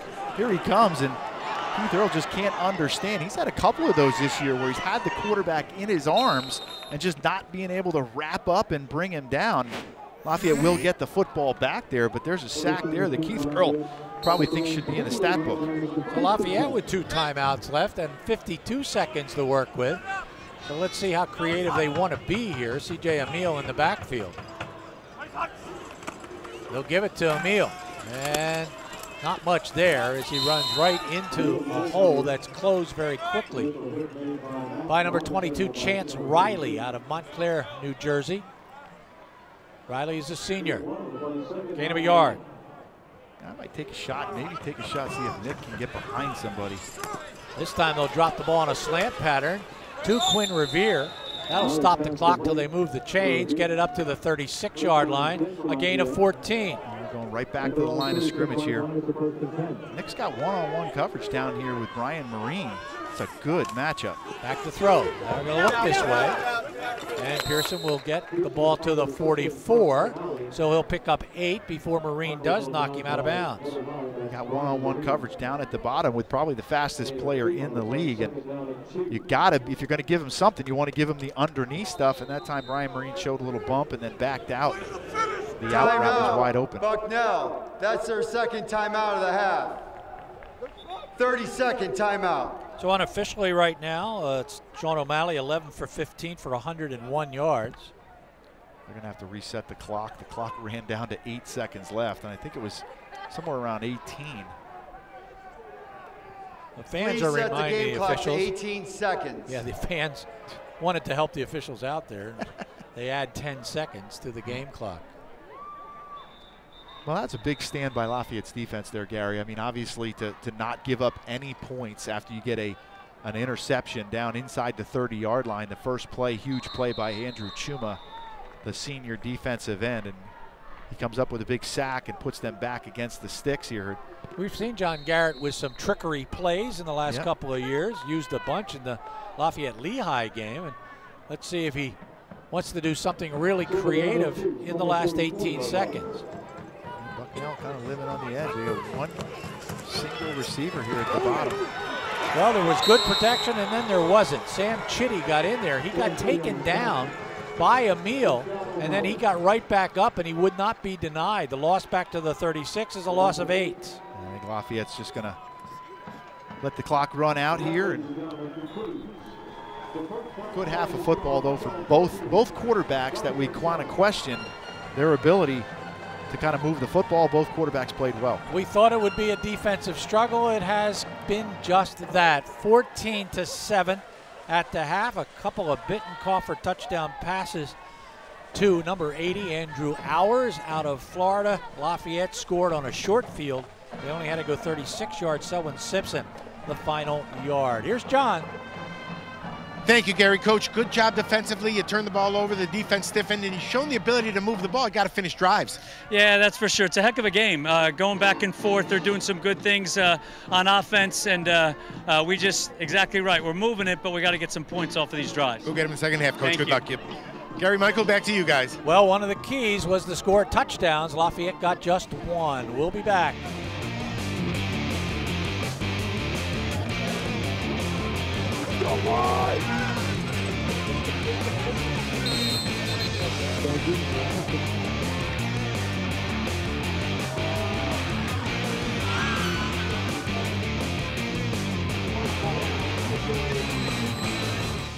Uh, but they're going to have to do the same here. I think they have to keep Bucknell out of the end zone this entire half. And, and, you look at Lafayette, they've only scored 23 points the entire year in the second half. So some things are going to have to go Lafayette's way here, but Bucknell, you see if they maybe turn it over to their defense to win this football game for them. It will be Jake Bissell to kick it off. Brandon Sanders and Brian Marine are back to receive the kickoff.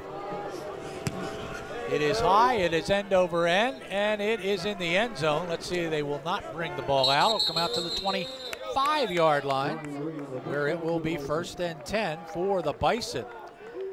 11 for 13 for 169 yards and a couple of touchdowns. That's the first half for Logan Bitecofer. That's a very good first half for him, as he's now up to six touchdowns on the year. He started four games ago as he took over for their starting quarterback, who was John Charlanzio. John's brother played for Lafayette just a few years ago.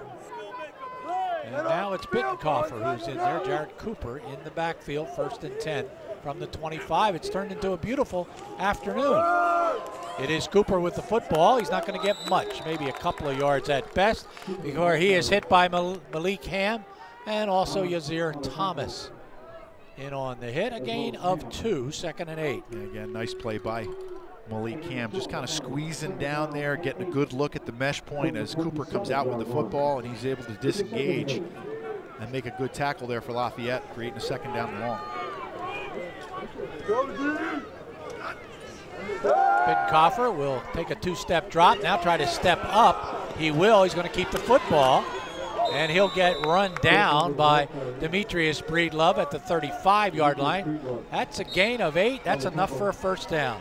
Good job stepping up in the pocket again. Another Lafayette defender had him in the grasp here. They just can't bring him down. As you see Green Greenhill, he's got him just down by the legs. And nice job by Bitecofer making a play. They'll go hurry up as Major Jordan is there to stop Jared Cooper. Cooper lowered his shoulder, so did Major Jordan. And there's a gain of two. Only 15 yards officially on the ground for Bucknell. They've had a couple of sacks that have really hurt that number. Rolling, Bitecofer looking. He's going to lob one downfield, just throw it out of bounds. He was looking for Alan Butler, but Butler was double teamed by Yazir Thomas and Trey Jordan.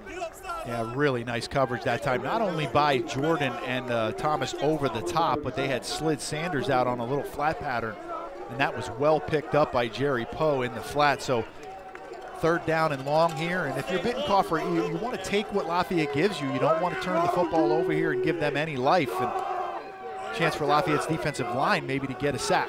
Bucknell was three for five on third downs in the first half. Back to throw, firing, and a bad pass. Coming back was Brandon Sanders. He never had a chance to make that catch. Coverage by Yazir Thomas. And the Lafayette defense comes up big on the first Bucknell possession. Yeah, they came with a little bit of pressure, didn't get all the way home, but I think what happened there, Sanders was working on Yasir Thomas in the uh, slot. That's a really nice matchup. Two good athletes going at it. I think Sanders kind of broke uh, uh, down a little bit as he came out of his route, and the ball just a little bit off. Alex Pechin will go back to work. As we mentioned, 51 and a half yards average in the first half with a couple of punts. This again is a very high one. And for uh, CJ comes up to get the football. He took a chance there, but it ended up working out pretty well for him. As we're going to get a timeout down on the field, and Lafayette will have decent field position at the 39 yard line. We are back. Here's our trivia question of the day, brought to you by St. Luke's University Health Network. Freshman Malik Hamm already has more sacks, four and a half of them, this season than any player in the previous four years. Who was the last Leopard to record five sacks in a season? We'll give you that answer in a bit. If you know that answer, you're a Lafayette fan. I guarantee you. From the 39 yard line, first and 10. Leopards, Mike Dunn in the backfield to start the second half. The ball off to Dunn. Dunn hits the hole. And he shakes through that first wave of tacklers.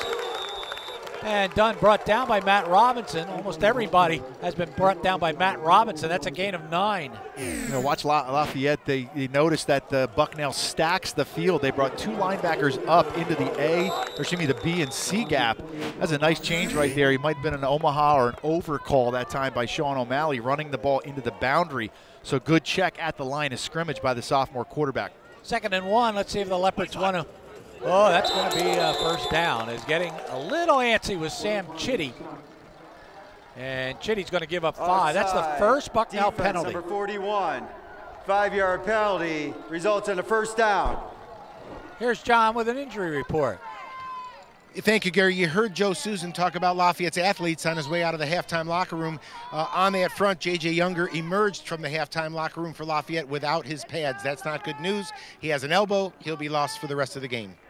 All right, John. Thank you very much. He talks to the trainers, and now we'll get injury reports. Good job by John. Hand the ball off, dancing through. Mike Dunn again.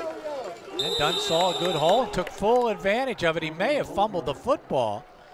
There's no signal there by the officials. It'll be Lafayette ball at the 42 yard line in Bucknell territory, a gain of five. Now, we were here a couple of years ago, Gary, and I remember we had Michael Dunn with a really beautiful run from about the 18 or 20 yard line going toward the scoreboard to get to, to cut the lead down for Lafayette. They ended up losing the football game, but Michael Dunn is a freshman getting a couple carries and now getting back in there right now and showing his strength Dunn at the had, point of attack. Just had 50 making 25 yards total on the season, averaging 2.1 per carry.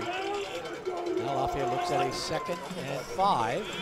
O'Malley, quick throw, and just a little bit beyond the outstretched dive that time of Nick Pearson. And a ball thrown really hard to the outside. Probably the only place Sean could put the football there is you saw the defensive back trying to get underneath it. And that again, that was Van Italy. He's played a nice game so far. That time got underneath just just to kind of throw away the uh, the straight line throw from O'Malley to uh, to the receiver. And here we go with another situation where the Leopards don't get any yardage on that play. Can they overcome it? They were two for six on first downs in the first half. John Garrett's had a tendency sometimes to go up top on some of these third downs. Blitz is coming. It is coming. It's picked up pretty well. Fired out there.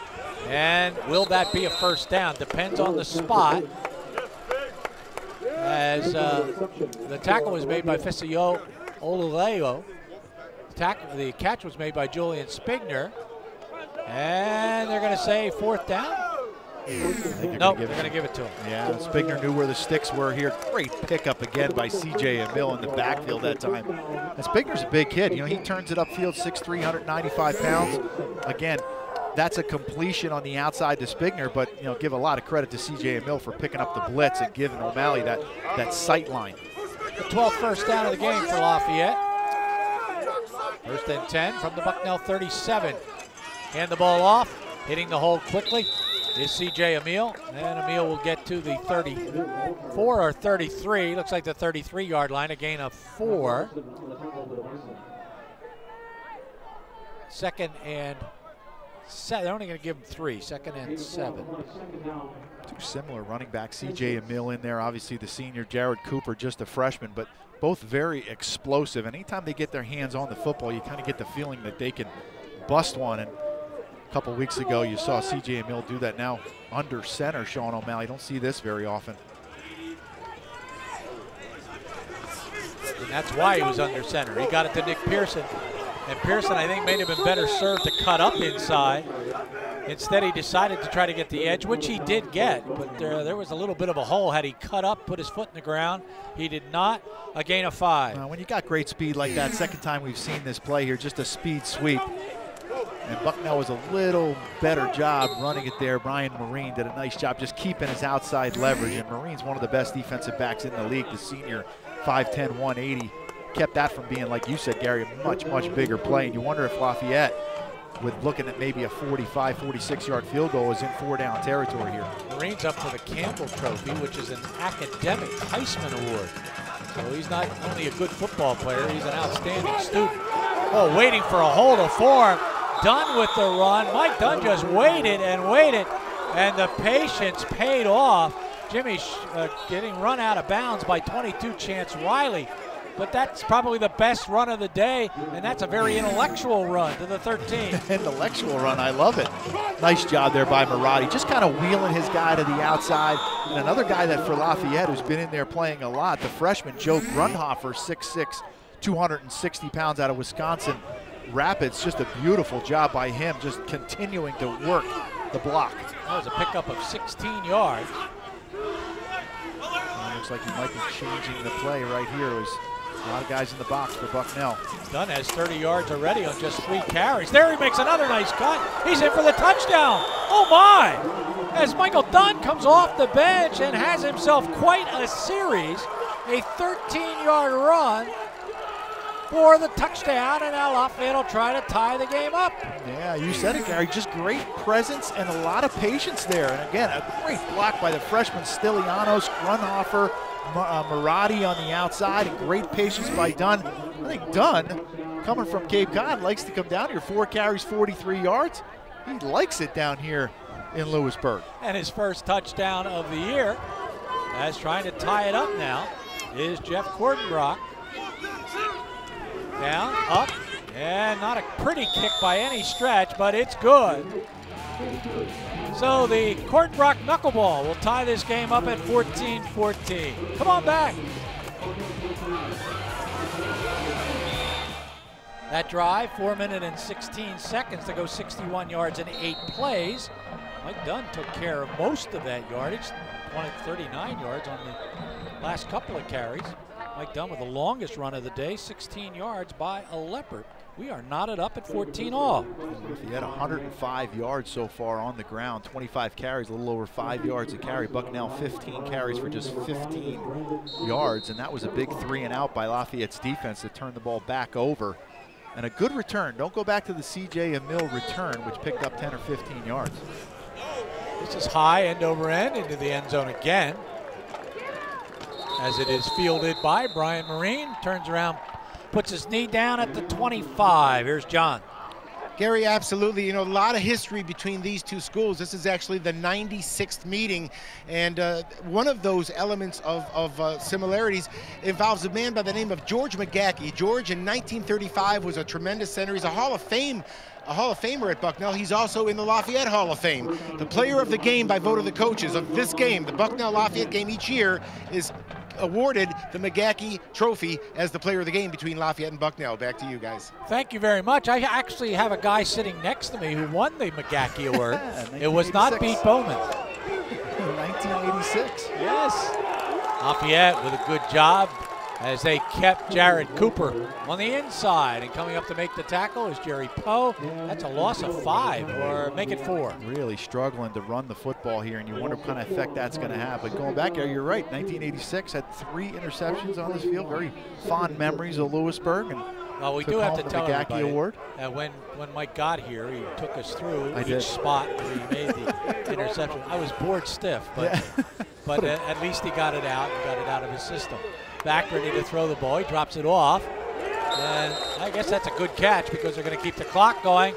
Alex Twyford with the uh, catch as Jerry Poe is there to make the tackle. And they will mark this one at the 23 yard line. So that's a gain of just two yards. Yeah, good job by the freshman Malik Hamm, just keeping contained that time. You saw early in that second quarter, Bitecofer coming out, hitting him uh, for a nice first down, and that time just nothing there as Hamm kept him in the box and Jerry Poe finished it off. So Lafayette's defense stepping up again like they did last week against Georgetown here in the second half. They actually gave him three yards on that catch, so it brings up a third and 11. Back, firing downfield, and it's going to be intercepted. No! In and out of the hands of Yazir Thomas. What an interesting play as it unfolded. Brandon Sanders saw the ball. Thomas did not. He turns in the last second, and the ball is right in his hands. And a good throw from Bitecofer. This is a ball that's really not gone Lafayette's way. It's a little underthrown that time, and the guy who only has Lafayette's only interception of the year, Yasir Thomas, just gets his head back in time, and the safety coming over the top. So Lafayette's defense a little pumped up right now, an opportunity here. Alex Pechin, you know he can change field position. CJ Emil, who's very dangerous with the football. Well, the Leopards have stopped Bucknell in their two possessions. Another great punt. Boy, he gets elevation. Oh my, what a hit. And that's what happens when the punt is that high. There's no chance for a much of a return. Sterling Deary with that hit. When we come back, Lafayette will have it first and 10 field. at their own 25.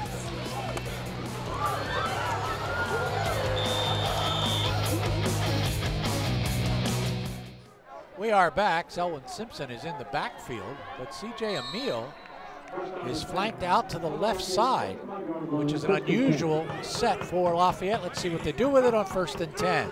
Well, here comes Emil. And he's going to, oh, they dropped the ball. And I don't know whether he was supposed to get it or not get it, but he didn't. O'Malley dropped the football, and the loss will be back to the 21, a loss of four. Well, that's the read option there, and I don't think on first down, Sean O'Malley's not supposed to give that ball to Emil. It was pretty good timing. Emil just didn't clamp down on the ball, and I'm not sure who you put the blame on right there, but Lafayette comes out of a timeout and loses five yards. It's just not good football right there. John Garrett's not going to be happy about that. That RPO turned into an RPF with a fumble. Loss of four. Second and 14. Readjust with Stilianos. And now he goes right back where he was. Hand the ball off. And a decent hole up the gut. Got the loss of four back plus as they get it to the 28 yard line. Again a gain of seven. It's really taken advantage today of Bucknell running the ball at the perimeter. This time they hit the inside, just midline play. A little bit different today. They're bringing the tight end across. That H-back Stilianos comes out. You make it look like you're kind of trying to bounce it to the outside, but Lafayette had good success running the football, well over 100 yards today. And Grangine is going to be split down. He's been the guy on third downs that Lafayette's really looked to the last couple of weeks. Third, uh, third and six. They have to get the ball to the 35. Good protection this time. Fire, oh no. As that one was telegraphed, and this has been the curse of playing Bucknell on this field. The interception almost returned, or is it returned? That's a touchdown. Oh my, another returned interception for a touchdown. They had two last year, and now this one as it's intercepted by Sterling Deary, his first interception of the year, and he returns it for a touchdown. Yeah, just a play that took too long to develop. They're trying to get a deep out on the outside, but Sterling Deary, he's played not only played a great game there, but he's been unbelievable on special teams. What a pick. He steps in front of it. It's a 30-yard throw to the outside. Just a late throw to the outside by Sean O'Malley. And you said it, Gary, if you're a Lafayette fan, we've kind of seen this book a long, long time in a row. And that ball just late to the outside and a really nice break by Deary to step in front of it. Sean did everything he could to keep him out of the end zone. Ethan Deary, or checking Ethan Torres in to kick the extra point.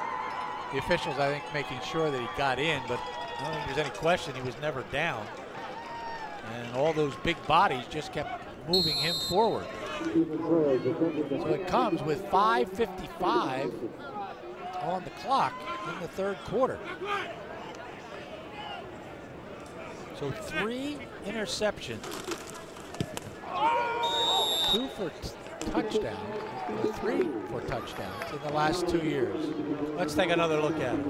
Again, a long developing play. You're asking Pearson to run down the field and run probably about a 15-yard comeback. You can see Sean's got good protection there, and he's staring down his receiver, and Deary just steps in front. Good block there to get Pearson out of the play. And like you said, Sean does everything he can, but a wave of players there. Brian Marine just pushing them into the end zone. Very opportunistic defense. The second interception of the game, and this one cost Lafayette points. Looked like a 40-yard interception return for a touchdown. Here's John. Thanks, Gary. We talked about Bucknell's punt game. Let's go back a couple of plays earlier, uh, Michael. Remember the near miss on the interception and how that impacts the next two or three plays down the road. We allow uh, Pechin a chance to kick the football away and uh, puts Lafayette behind the sticks. Next thing you know, it's seven for Bucknell. Back to you guys. Well, we knew coming in turnovers were going to be a part of this football game. Bucknell has now intercepted 10 passes this year. They've recovered 11 fumbles. And on the other side, Lafayette's been intercepted 11 times, and they have fumbled the ball away six times. So we said as one of our keys of the game, the turnovers really win that battle. It's all Bucknell so far. Emil from the 15-yard line. He gets twisted up a little bit. Tackle made by Brandon Benson. Also in there was uh, Garrett Van Italy. Lafayette will have it on the 34. Once again, they're down by seven. And that's, again, you go back to the interception. Tough throw for Sean O'Malley to the outside, maybe a slant or something to the inside where you can guarantee that your receiver is going to be inside the defender. And the only place maybe you can be picked off is if it tipped or thrown a little bit high. But Lafayette going to have to dodge a bullet here, try to tie this football game up. They find themselves again down by seven. Lafayette has thrown five interceptions in the last two weeks. Mike Dunn the running back. Steps up in the pocket, fires, and that's Quinn Revere, I believe, with the catch. And it looks like he got enough for the first down. Tackle by Chance Riley. And it is Revere who makes the 10-yard grab.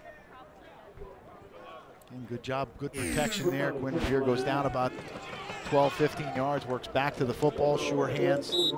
Nice job against that zone. Haven't seen Bucknell bring a lot of pressure here so far in the second half, but you can bet if Lafayette crosses the 50-yard line, they're going to take a chance at bring a little bit of pressure, try to get into Sean O'Malley, who's had a tendency to turn the football over.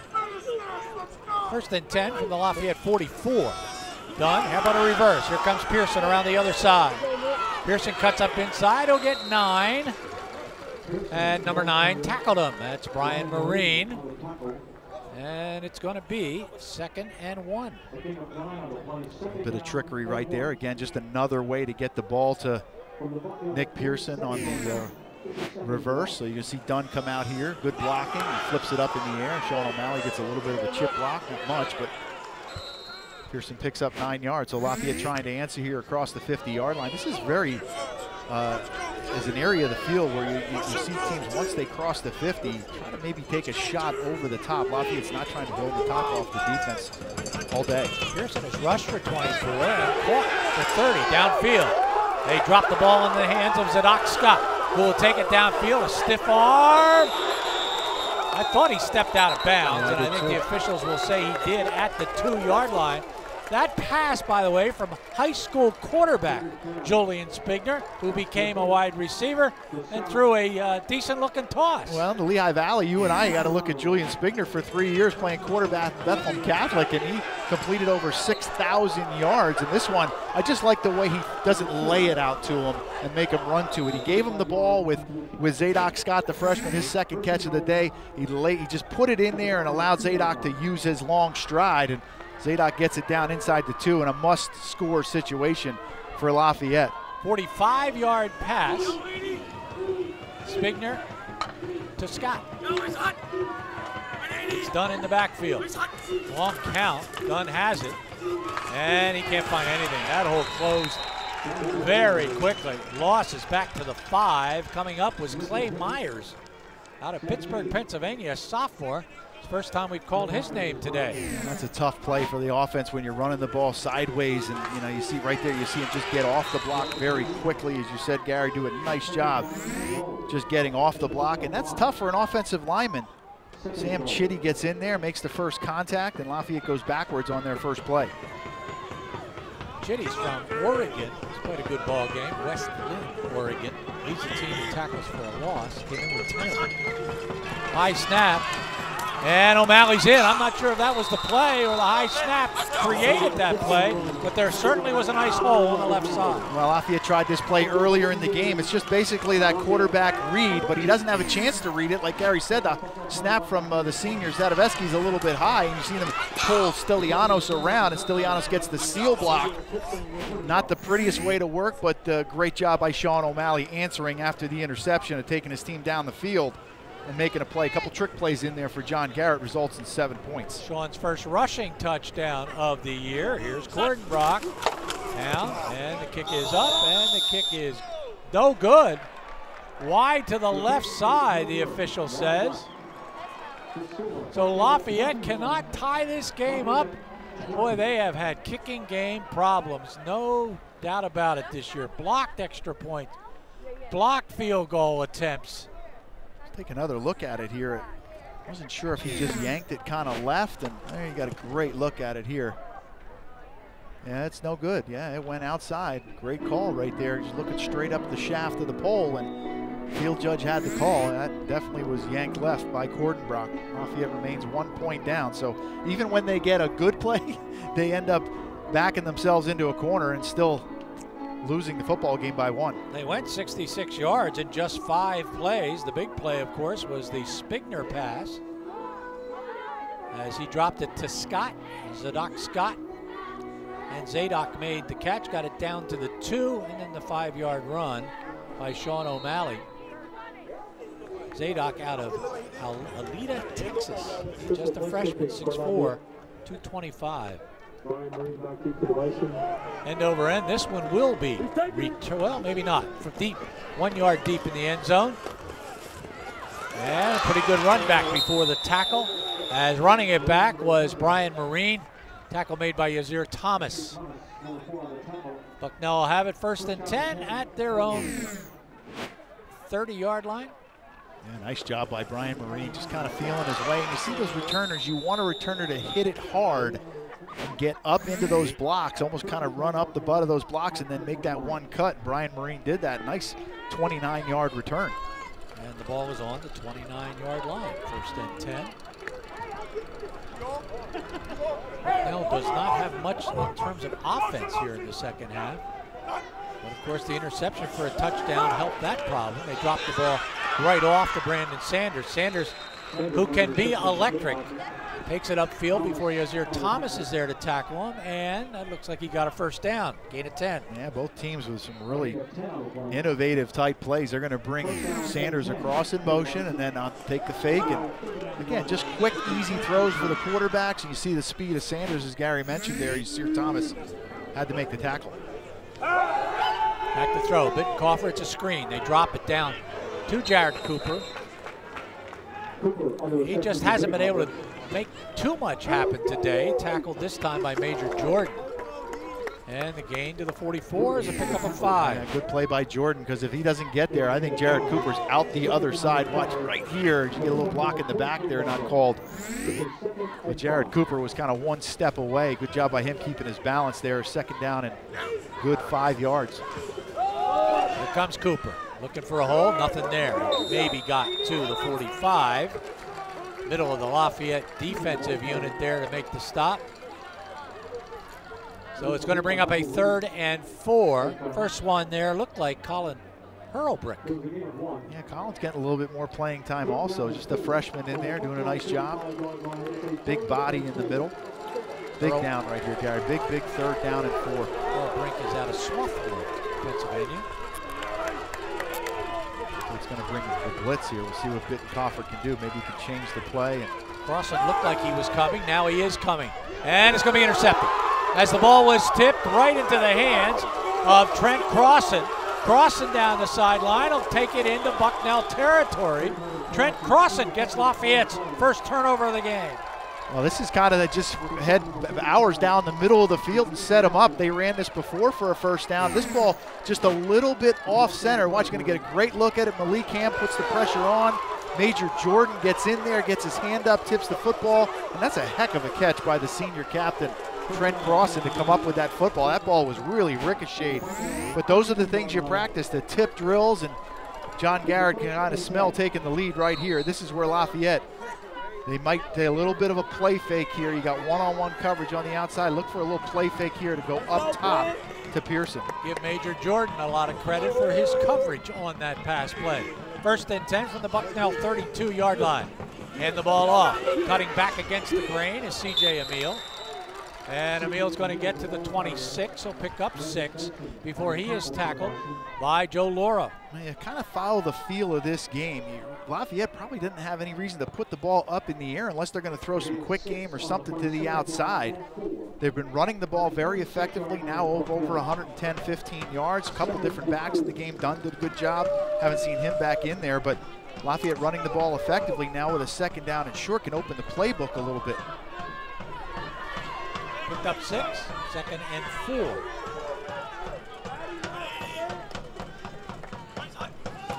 Back to throw, O'Malley. He's looking for a white shirt. He fires, and he tried to find Nick Pearson. Pearson was coming back for it, and the ball sailed over the head as coverage supplied by Sterling Deary. And Nick Pearson a little dejected right there. He had run a curl route about 12 yards down, came back to 10, but that ball was off target. Not very accurate throw there, but Third down and four, you throw the ball on second down, you still have an opportunity here. And with Lafayette's kicking woes right now, on a missed 41-yarder and a missed extra point, you wonder if Lafayette is in field goal range or if they are willing to go for it on fourth down if they don't pick it up here.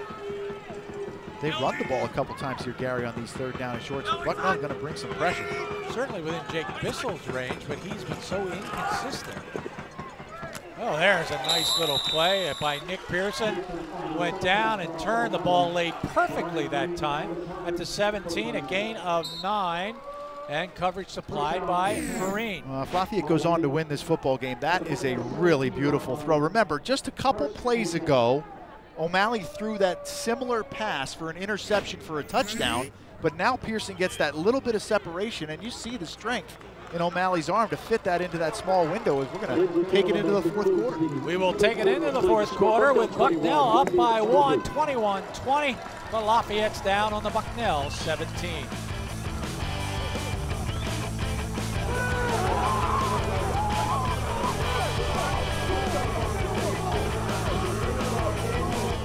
Welcome back. Chatting about uh, what happens here uh, if the Leopards get into the end zone down or down by one. But first, we've got ourselves a first and 10 from the 17 yard line. Welcome back start the fourth quarter. It's done. He's not going anywhere. He is going to lose at least two yards, maybe three. Coming up to make the hit was Rick Mottram. Yeah, nice play there by Mottram. He just got inside Jake Marotti on the backside. That's a tough cutoff block for the backside tackle. And when you're patient in the backfield, sometimes it can kind of go against you there. And Dunn tried to take his time running the football, and that time gave Mottram some time to get down the line of scrimmage. Great play by the linebacker. Second and 13 passing situation for Sean. Well, now he's going to change the play at the line of scrimmage. Looks like he's looking Spigner's way, who is out wide to the right side. Instead, they're going to go to the left side with Dunn. Can he get the corner? No, he cannot. That's a good hard tackle by number 36, Brandon Benson, and there is a flag.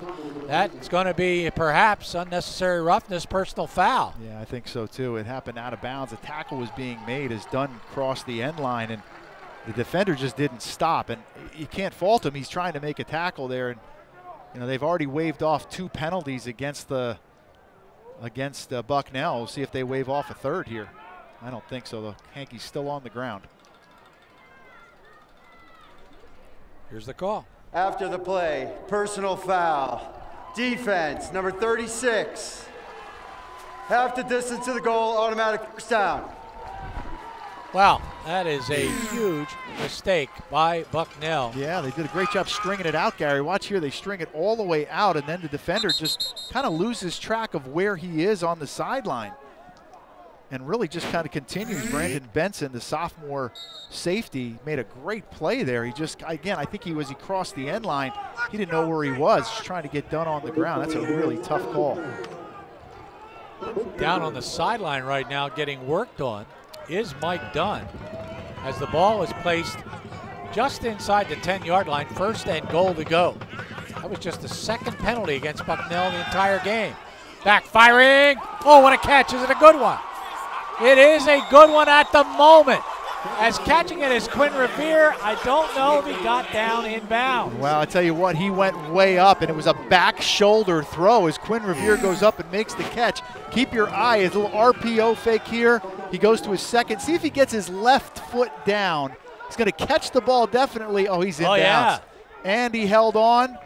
Yep, he held on to the football. Nothing there that's going to overturn that one. And Lafayette looks like they're going to line up, I think, Gary, to go for two. Up just five points.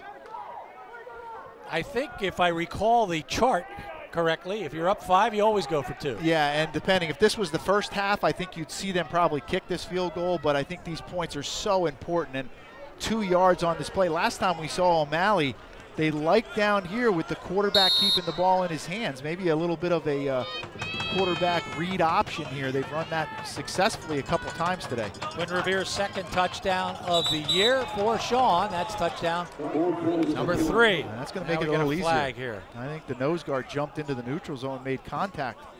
That's going to make it a little easier. Offside. Defense, number nine. The- Now it's a yard and a half Yeah, now, three. there, now the tough part is what play do you call? Usually you got a pass play set up for this. Now you're a yard and a half closer. Yeah.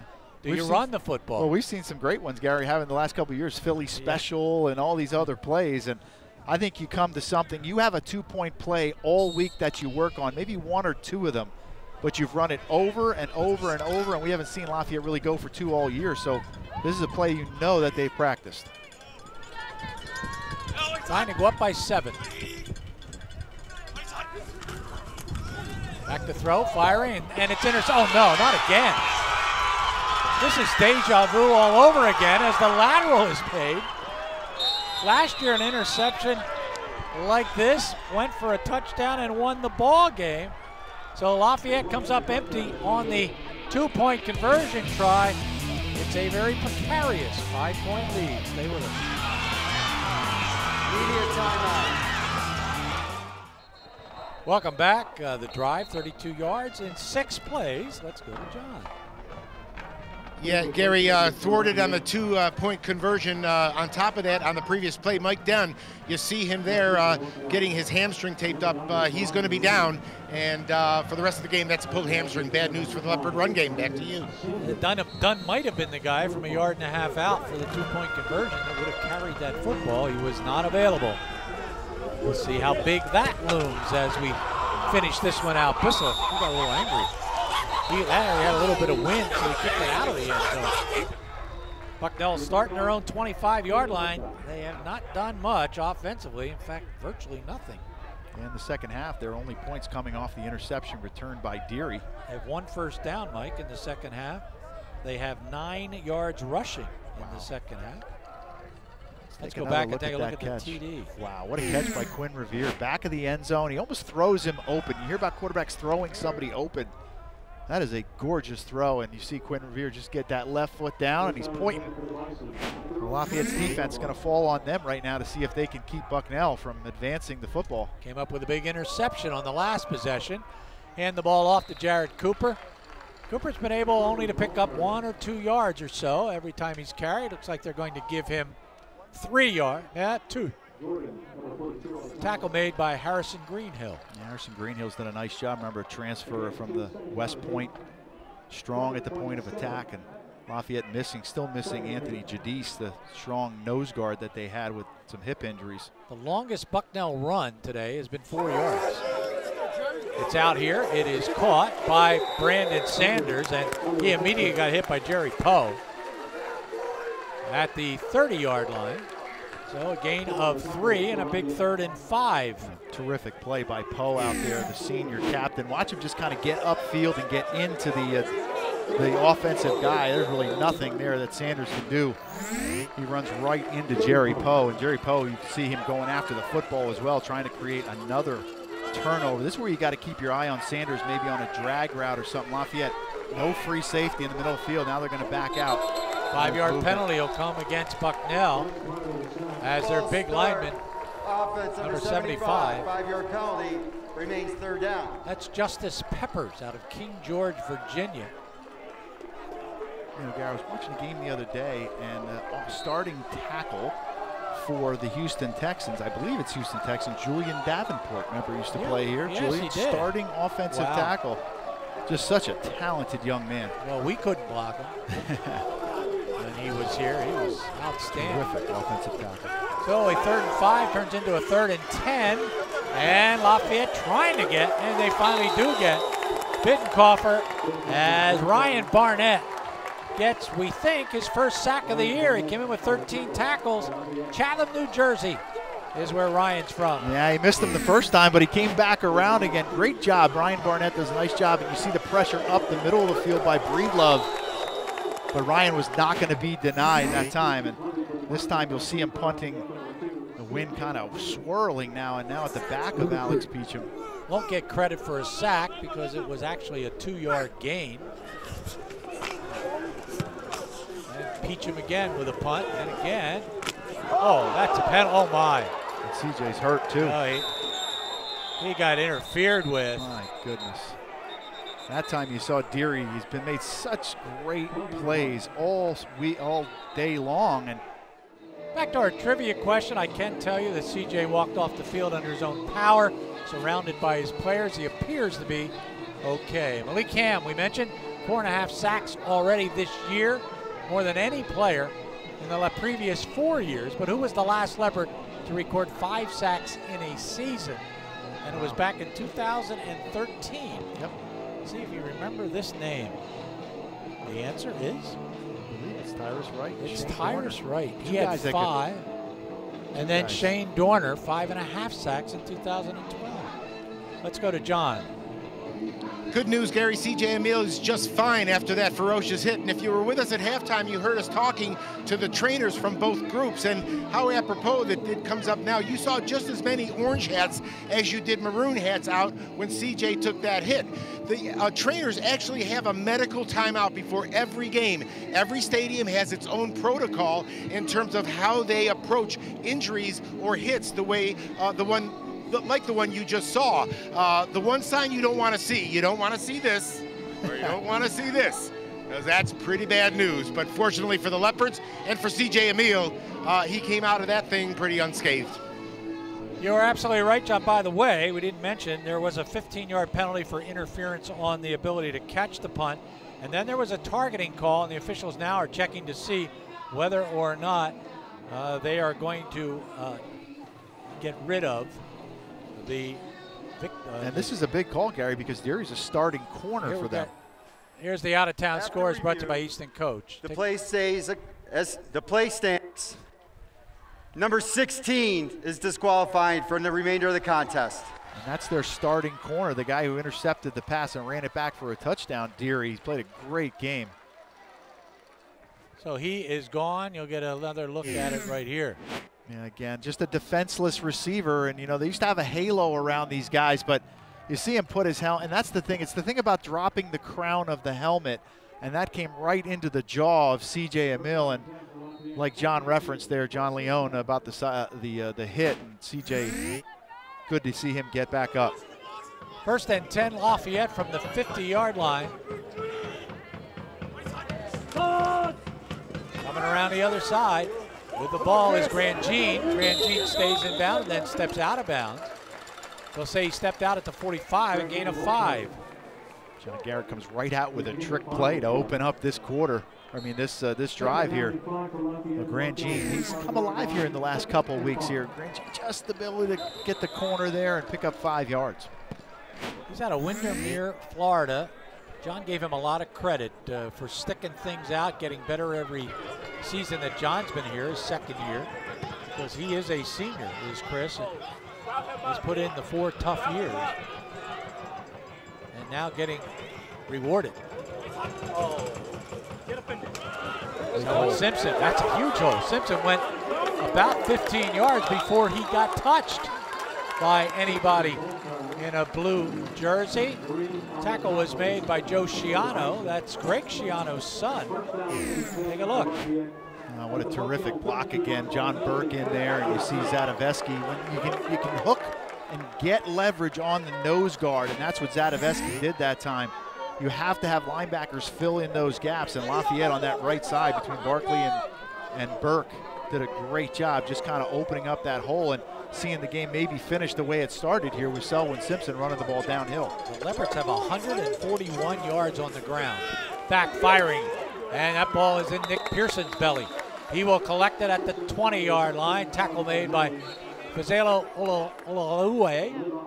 And that's going to be a gain of 13. Well, John Garrett going back to some of the plays he opened the game with, and this is the ball that was tipped and intercepted the second time they tried it. The first time, very similar to that result there, but good job by O'Malley just allowing the safety to get out of the way and chase the bubble route, and then the slant route just opened right up there for Pearson.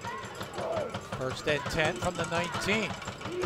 9.35 to go in the fourth quarter. Sean milking the clock a little bit here as well, down under five seconds. Lafayette wants to make it a two possession game. Hand the ball off, that won't get much. Simpson is the ball carrier. Simpson will get a yard, hit pretty much at the line of scrimmage by Rick Mottram. Mottram's going to get some accolades when they watch film. He's made a number of tackles, just a sophomore 6'1", 220. You're mm, kind of in field goal range if you're Lafayette to get this to an eight-point lead would be 29-21, but a touchdown would go huge. And good to see C.J. Emil back in the ball game. He's going to line up probably next to Sean O'Malley. A touchdown would be huge here for Lafayette. You know, Stilianos is a guy that, that, that dropped the ball early in the first quarter. They haven't gone back to him. Take a look maybe to see hit Stilianos down the seam here. Take the handoff. Sean will roll to his left. He'll fire, drop the ball off. Not an easy catch for Will Eisler. The ball was thrown on his left hip, and he had to turn his body almost completely around to make that catch. And he did just that. Van Italy there to make the tackle at the 12, a gain of six. Yeah, you said it, Gary. What a catch. Watch his catches it with basically with one hand on the back. And Will Eisler's a great story. He's a guy that before the season started that John Garrett surprised both him and Trent Crossan with a scholarship. They were walk-ons, the guys that didn't have scholarships, but prior to the season, just a great announcement on uh, about two deserving players picking up scholarships for their senior years. Huge play here for both ball clubs. Third and three from the 12. High snap, keeping it and unable to go anywhere with it. And in fact, the loss is a loss of three. Back to the 15.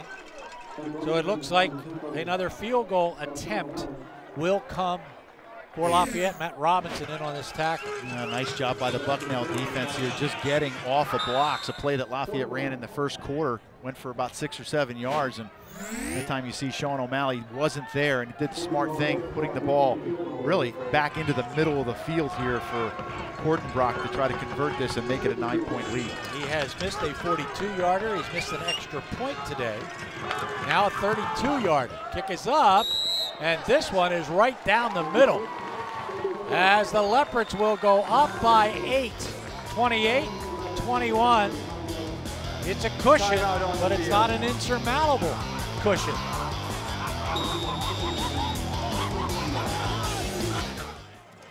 We are back. Lafayette getting ready to kick the ball off. The 32-yard field goal by Jeff Kortenbrock gave Lafayette a seven, it a, an eight-point lead, 29-21.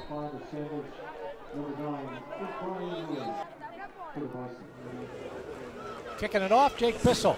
He's kicked a few into the end zone. He'll do it again. This one I don't think will come out. It will not. Nice job by Bissell because Brian Marine is dangerous and Brandon Sanders dangerous. And they haven't been able to bring too many of them out of the end zone. The ball come out to the 25. Mike Bucknell's had the ball four times in this second half. three of those, me make it five times, four have started on the 25 yard line. Yeah, they absolutely. And the thing for Lafayette now is it turns this over to maybe a throwing game for Bitecofer for the rest of the way, and that I think would lead into the hands of Lafayette's defensive line being the strength, really, of this entire team. Kind of maybe able to pin their ears back and get after the quarterback a little bit. Back to throw. There's a quick slant pattern caught by Justin Bethea. And Bethea will quickly get it up to midfield. Eric Mitchell riding him down. Looks like they're going to mark it at the 49. 26 yards. Yeah, good looking play there. You see the strength in Bitecofer's arm. We talked about O'Malley, but this ball is just a strike between the linebacker and the corner that time, and nothing really Eric Mitchell can do, but beautiful play by Bethea, just finding that dead zone. Lafayette held Georgetown to one first down in the second half last week. Before that first down, they had held Bucknell to just two. Carrying the football, Jared Cooper. Keep him honest, but he gets no yards. It'll be second and 10. Lafayette just up eight points right here. Bitecofer at midfield. It really hasn't taken a shot all the way down the field. Both teams have really not tried to go up over the top of these defenses, as you see. Brandon Sanders comes back into the ball game. He'll be set out wide to the right side. I get the feeling like each team maybe want to take a shot down the field here. Looking, stepping up, and the ball is caught. Garrett Cooper, he was a safety valve, and he just dropped the ball off to him. They're going to give him forward progress, looks like to the 43-yard line. That would be a gain of six as a tackle was made by Major Jordan. Again, nice job by Bitecofer, just kind of stepping up. You want your young quarterbacks to climb the pocket. Many times you see them kind of bail left or bail right, but he did a nice job just climbing the pocket and finding his check down. Third and four. I'm sure they're in four down territory. It's going to play zone here, too deep over the top zone. Now that'll be a first down as the ball is grabbed by Brandon Sanders. Tackle made by Major Jordan. As the ball will be placed at the 38 yard line, a gain of five. I really like the way Sanders, again, just zone coverage here. Breedlove right there. Oh, held just a little bit, but these quick throws don't allow a big time pass rush to get there. The ball coming out of Bitecofer's hands very quickly. Under five minutes to go in regulation. And the ball, no, keeping the football is Bitecofer. He's got a nice gain. Here comes a penalty flag, though. This one's coming back in the area of holding. Yeah, it looks like it may have been holding just on the edge. Not sure what else it could have been. The flag was thrown right around the 30-yard line. This is a big, big penalty against Bucknell. We'll wait for the call from referee Jeff Holding. Offense, number 45. 10-yard penalty from the spot of the foul. It remains first down. Now let's see if we can get a good look at it. But it was a, you knew it kind of was coming. There's so many handoffs inside to Cooper there, and you see the DN just kind of come down a little bit too hard, and the corner – the junior out there, Eric Mitchell, was getting held on the backside. So big penalty to overcome here for the sophomore quarterback. They like to run screen in these situations, but Lafayette's been pretty good against the screen defensively. First and 12. Back to throw, bit cough, and they'll just throw it away. That was supposed to be a screen pass to Brandon Sanders. And Sanders was totally engulfed by three white jerseys. Yeah, he just kind of tried to slip it out. It's a great call. Stephon Moore Green there, the junior, trying to slip out of the backfield. And again, that was looked up and covered extremely well there by Keith Ellis. So it's second and 10. Keith Earl, excuse me. Lafayette blitzing. Back to throw, firing, too high. Pass intended for Justin Bethea. No chance. Bitecofer, I think, smelled the blitz and knew he had to get rid of the ball quickly, and he was wild high. Yeah, he did throw the ball to the backside. He had that same slant play as Eric Mitchell was on the coverage, and watch Bitecofer take a shot right here after he releases the football. Leopard fans are on their feet, making some noise down below us. If you're Bucknell guy, you're probably in two down territory. So Bitecofer, you don't need all 12 yards here. Third and 12. Looking like they're going to play some zone coverage here. Five under, two deep. Coffer back. Now he breaks out of the pocket. He's going to go deep. He's got a man wide open. That's going to be a touchdown. Oh my, what a toss. Justin Bethea got behind the entire Lafayette defense for a 40-yard touchdown strike to get to within two. And that's on the safety that time. Trent Crossan the senior captain. He just did not get off the hash. You see Bethea, he's going to get around the corner, but Eric Mitchell is responsible for really kind of the deep out to the flat. Just a great pickoff right there, as you can see it. Just the safety just never gets off the hash. He's got a bad angle and a beautiful throw by Bitecofer is going to tie this game up with an extra point. Although they look like they may be going for two, Gary. Well, why not? You got to tie Yep, it up. sorry, you're yep, right, They were down by eight. So uh, the biggest play of the game so far, right here. You see Lafayette straight man to man. He's got to try to find the matchup he likes, and you, know, you got to maybe look at a guy like Sanders here. Rolling to his right, looking, nobody open, in trouble, firing, and it is, oh, incomplete. It was batted twice and almost batted to a Bucknell receiver, and Lafayette stays up by two, 29 27. Take a look at this. Yeah, you see Malik Hamm just about to get there, grabs the shirt, the ball was on target to Bethea. He, somebody's just got a hand in there to tip it up in the air, and the Lafayette defense comes up big, but after giving up six points on the third, I think, blown coverage of the uh, of the game. Both teams have all three timeouts left. This is where Lafayette, who's run the ball so effectively here in this ball game, the best probably they've run the ball since maybe two years ago at Lehigh, where they put up 176 yards of rushing offense. I've got them for 139 so far today. Well, no more important than here to put your four-minute offense on the field, and that includes Selwyn Simpson and C.J. Emil, and they're going to have to pick up a couple first downs, or Bucknell's going to get the football back. Leopards are really playing up close, and that's why, as the ball is caught by Selwyn Simpson, but a Leopard had called for a fair catch. So you cannot advance the ball once somebody does that. But the Leopards will still get the ball at the 26 yard line. Number 33 of the receiving team called for a fair catch. Number 22 caught the ball. It's placed where number 22 caught the ball. Well, that was a clear explanation. There's Ryan Dickens, that ball. Speaking of clear explanations, here's John. Uh, you are the sultan of the segue. Hey, Gary, uh, before we get out of here, a note to the Lafayette community. Just this past Wednesday, we lost one of the great ones. Condolences to Marty Zippel's family. Marty had a great one, one of the truly great ones, a great basketball player, Hall of Famer, great baseball player. Condolences. We'll miss you, Marty. Well said, John. One of the best Lafayette fans and athletes ever. Keeping the ball, O'Malley. He's got a little bit of hole, a slide over the 30. Looks like they'll mark it at the 30. So we'll pick up just four. The Leopards looking to get a time, uh, get a first down or two. So they'll look at a second and six. Uh, at least one. If you could pick up one first down here, you're going to Please set the game clock to 409. But it should continue to run. It shouldn't stop. Uh, waiting There for it go. to set. Now it sets. Now they wind it up. So Lafayette going to snap this ball probably right around three minutes and 30 some odd seconds left. They're going to take their time here. They need to pick up at least, I think, another first down here. But you go back to the fact that Bitecofer went to the locker room. Charlanzio is going to have to come in the ball game, but Bucknell only needs a field goal. Lafayette's only win came three weeks ago against Central Connecticut State, 31 to 24. Hand the ball off, cut up inside, not much there, but Selwyn at least got more yardage than he probably should have with a good second effort. We're going to get a Bucknell timeout. And Lafayette's going to be looking at a Bucknell. third and That's four. their first timeout of the half.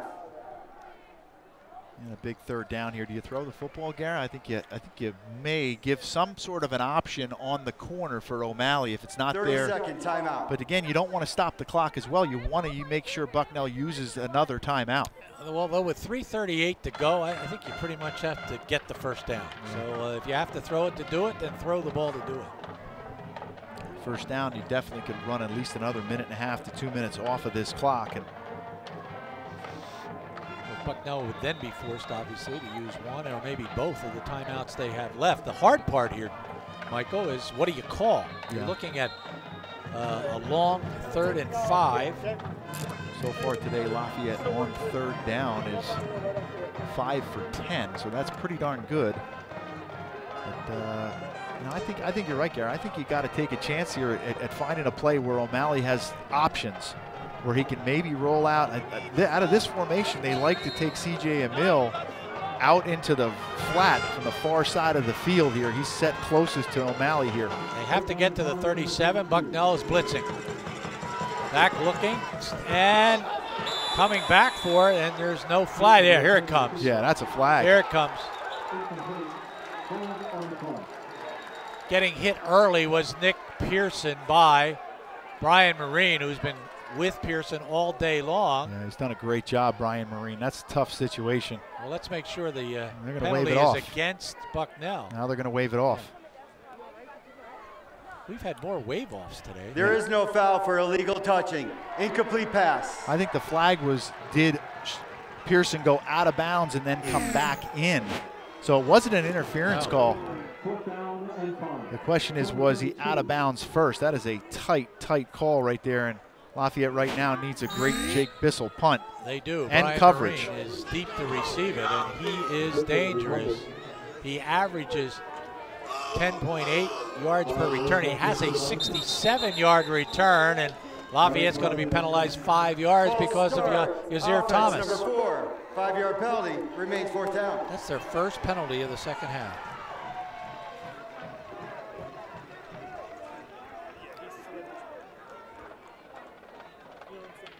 Well, somebody in the next three minutes and 34 seconds is going to be ecstatic. and somebody is going to be sickened by the outcome of this one. That's a good punt, not returnable. That's the good news. Gets a Lafayette bounce, and it's going to go out of bounds inside the 25. They'll mark it at the 24. Well, if you ever needed a 45-yard kick, that was the time for the Leopards to get it. 45 yards. And he did. He did not just kicked it 45 yards, but kicked it away from, uh, as you said, a dangerous Brian Marine. And we'll see who comes out here at quarterback. It's not going to be Logan Bitecofer. Probably going to be Charlanzio. yeah, it'll be Charlanzio on the season, 39 for 70, three interceptions, 247 yards. He's not thrown a touchdown pass. Charlanzio was their starting quarterback, but it is going to be Taryn Earl, a freshman, 6'3", 185, who has not play, had not played, I don't think, as they hand the ball off. That's going nowhere. And the clock will continue to run on a one-yard run by Jared Cooper. Said Gary Taryn Earl, 6'3", 185, freshman out of Montclair, New Jersey, and he looks like he may be a guy that can run the read option. Looks like he was coming out the other side, and you got to wonder what he's feeling like inside in his belly right now. He had a lot of running room last time. Back to throw, flips it out here. Good catch by Cooper. Cooper will turn it upfield. I think he's going to be shy of a first down. They're going to give him a good spot. Tackle made by Michael Rood. He got a really good spot there. Yeah, this referee's probably behind the line. The other referee, they're going to try to probably take a look at this to see where he went down. I think they're going to question that that that spot because that is an Oh, exceptional yes, spot. It is. he that was spot gives them a first down. I don't think there's any question about that. he was at least a half. They're going to try to measure it over there. I wonder if John's going to take the opportunity to see where he came down. I think he has to. There's, there's there's no way that that spot is correct. And John, I believe, is challenging the spot. I see.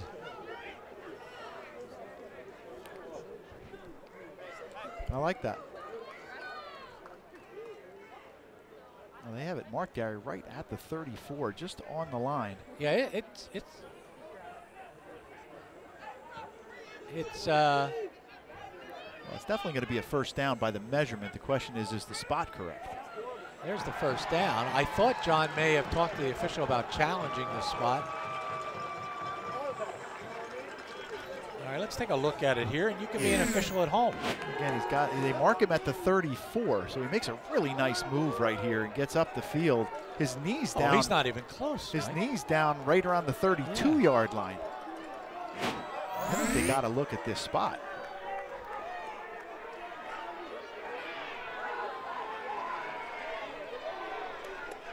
That's a that's a not a very good call by the head linesman out there. Well, the chains haven't moved. That's the other problem. Now they finally decide to move the chains, but It's first down and 10 with the ball at the 33. Four, make it the 34 yard. To bring a little bit of pressure here. Back to throw. The freshman fires downfield and trying to make a acrobatic catch is Justin Bethay. Coverage by Eric Mitchell. And Justin Bethay, he's dangerous. He did a great job, played a great game so far. A couple catches down the sideline, really not a lot of room to work with. And you see Earl just a little bit off. He's got to try to lead him in there, and uh, Trent Crossan a better job of coming off the hash that time and being in position to make a play in case that ball was caught. Two minutes and 31 seconds. Bucknell with two timeouts left. Lafayette is all three. And the ball to Cooper. He, no, yeah, Cooper does have it. Tackle is made by Breedlove. Keep looking for the quarterback to keep the ball. Also in there was Malik Hamm. Lafayette going to bring in a little bit of reserves here to rush the passer. Chuma comes in and Lamb comes in. Colin Thorne. There's a loss of a yard. He's down at 11 for the young freshman quarterback. Back looking, firing. He's got his man. He gets the ball into Bethay's belly. As a tackle made by Eric Mitchell. That's a pretty nice throw by the freshman up to the 47, 48 yard line. That's a 15 yard pickup. And the defender, underneath defender's got to get out. That's Jack Lamb. If he's responsible for the curl the flat, he's got to get out underneath that. Back to throw, Earl. This time he's in some trouble. And it's going to be an incomplete pass. Good work that time by Demetrius Breedlove. He almost got the sack, getting rid of it at the last second was quarterback Harrell. Lafayette sideline looking for a hold in there, but uh, nice job by Breedlove. And Taryn, Taryn Earl, he's got good feet, doesn't he? Just get to the outside there. and I like his composure. Yeah, good composure as well. And he's trying to bring his team back. He's faced with a second down and 10 now, a third and 11 before that he completed. Remember, they only need a field goal. Back, good protection, starts the breakdown. Now he finds an open man. Tackle is made by Trent Crossan as the catch is made by Brandon Sanders. And did they stop the clock? They did. Third down and probably seven or eight here. Again, much better protection this time. And good job, like you said, Gary. Good poise in there by Earl, stepping up, making a play on the drag route. Sanders has run a bunch of those routes today, those underneath routes. They got three, third and seven. Leopards bringing everybody. And they get to the quarterback. As coming in to get him is Jerry Poe. For Poe, that is his second two and a half sacks now on the season for Jerry Poe. Yeah. Huge play, loss of 10. Great play by the senior. You know, big players, you got to make big plays. And this time, Jerry Poe, is going to come all the way around That's your second time and just get to the legs there. Teron Earl, great, great play by the senior. And it's going to come down here, Gary, to a fourth down and long. Fourth and 17 to set the stage. They'll have one timeout remaining. There's a minute and 22 seconds on the clock. So the Leopards have to defend their own 42 yard line. If Bucknell does not get that far, Lafayette will get the ball on downs. Remember, we'll be back in two weeks when Holy Cross comes to Easton, PA for a 12:30 ball game. And again, we One mentioned minute Bucknell timeout. has a bye next week, and then they'll take on Lehigh at Lehigh. That's a 12:30 contest. Uh, this here, you can see the Lafayette coach just gathering the defensive linemen and letting them know to try to keep him in the pocket. You do not want Earl to break outside and have a free lane that now put defenders in a two-way go, whether they have to come up or they have to defend. So very important for a guy at the top like Keith Earl to stay and keep the right-handed quarterback in the box. You're going to put down here at the bottom. You got another defender for Lafayette. You got Breedlove in there. Down here at the bottom, Billy Schaefer, a freshman. Lafayette looks like they may just rush three. They are going to rush just three. Running around and going down. The pressure by Keith Earl. Keith Earl was all over quarterback Taryn Earl and Earl fell down trying to get away from Keith Earl. Yeah, and the snap might have been, oh, the snap was on his left hip. And I just talked about Keith Earl just remaining, they didn't even block him. Very, very un, unlikely play there you see at the end of the game. Three-man rush for Lafayette. Nobody picks up Keith Earl, and Lafayette should be able to put a couple of kneel downs here and get out of Lewisburg with their first win in a long time here. That's true. They have not won since 2013. Bucknell has won the last four. This is the 96th game. Lafayette leads the series 52 37 and 6. But it's kneel down time for the Lafayette Leopards. A minute and 16 seconds on the clock. What's that? Wow, that's, that's, that's, that's Brian Marine who came across and made the tackle. There's been some jawing all day. And Certainly Lafayette took offense, uh, and rightfully so, by the hit from Sterling Deary on uh, C.J. Emil. John saying, look, just keep the clock running. Stop this pushing and shoving with the clock stop. Run the clock. They're going to use their last timeout. timeout. Bucknell. That's their third and final timeout of the half. Well, you, you, get a little chippy in there. This is just a straight kneel down play, and all D linemen are just kind of pushing inside didn't really like the play by Brian Marine. You, know, can't come around the edge and hit the quarterback when he's on a knee. That, to me, is a unsportsmanlike conduct there. And obviously, Bucknell very upset. They don't want to lose a homecoming game at home. They played probably just well enough in the first half, but you know, haven't been able to do much in the second half, especially running the football. That's been the difference in the game. Coming up, of course, we'll have the post-game show presented by the Maroon Club, and we'll have our player of the game presented by Coca-Cola. All of that is coming up once we get to 0 0 0 on the clock. Lafayette trying to go to 1 and 2 in the Patriot League. And Bucknell will go to 1 and 2 unless some unforeseen circumstance occurs. Logan Whalen is back to make sure nothing. Well, the umpire, too, Gary. He's got to take control and let these kids know that there can't be any of that extracurricular. You can see him standing over the football right there. You know, everything within the rule book. Now they cannot stop the clock, but Lafayette will have to snap it at least one more time. And another instance where a referee can kind of take his time a little bit and sure. make sure there's only one more play. Yeah, this is going to be a disappointing loss for Bucknell. They, you know, they, they not only Gary are they going to lose the football game if Lafayette closes out, but they lose their quarterback as well. A kid that's been playing and, and probably played his best game of the year today, especially in that first half. But give credit to Lafayette's offensive line, I thought was fantastic today, keeping Sean O'Malley upright and then opening some holes for over 125 yards rushing. Final play of the ball game, one would think. Now the Leopards can shake hands, pat people on the back, and the two coaches will meet at midfield. John Garrett, Joe Susan. John in his second year, Joe Susan in his ninth year. Good hard-nosed football game. It uh, we expected good defense. We saw it for the most part. We expected turnovers. We certainly had those. And uh, we expected a close game, and we had that. Lafayette wins 29-27. We'll be back with the post-game show.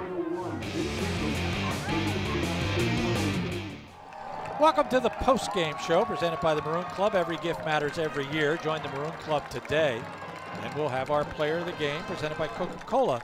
Experience the Coke side of life. And let's go to John Lee Ohm. Kevin, come on, come on, come on. Everybody up, everybody. I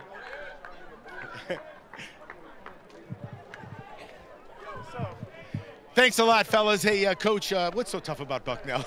Our first one, you haven't been here that long. It's a tough place to play. I thought the kids came together all three phases of the game. Well, it was a great win, uh, and it's uh, it's always about these guys right here. Uh, we overcame adversity, uh, their ups and downs of the game, and they just kept fighting, and they just kept going and going and going. It's a real credit to them. You always talk about persistence. Okay, I'm going to go back to early in the game. We turned the ball over in their territory. I thought that was a turning point. These two teams were so evenly matched. I felt anybody going up two scores was going to have a huge advantage. I thought that was a big defensive stand early in the game. Well, defense did a good job.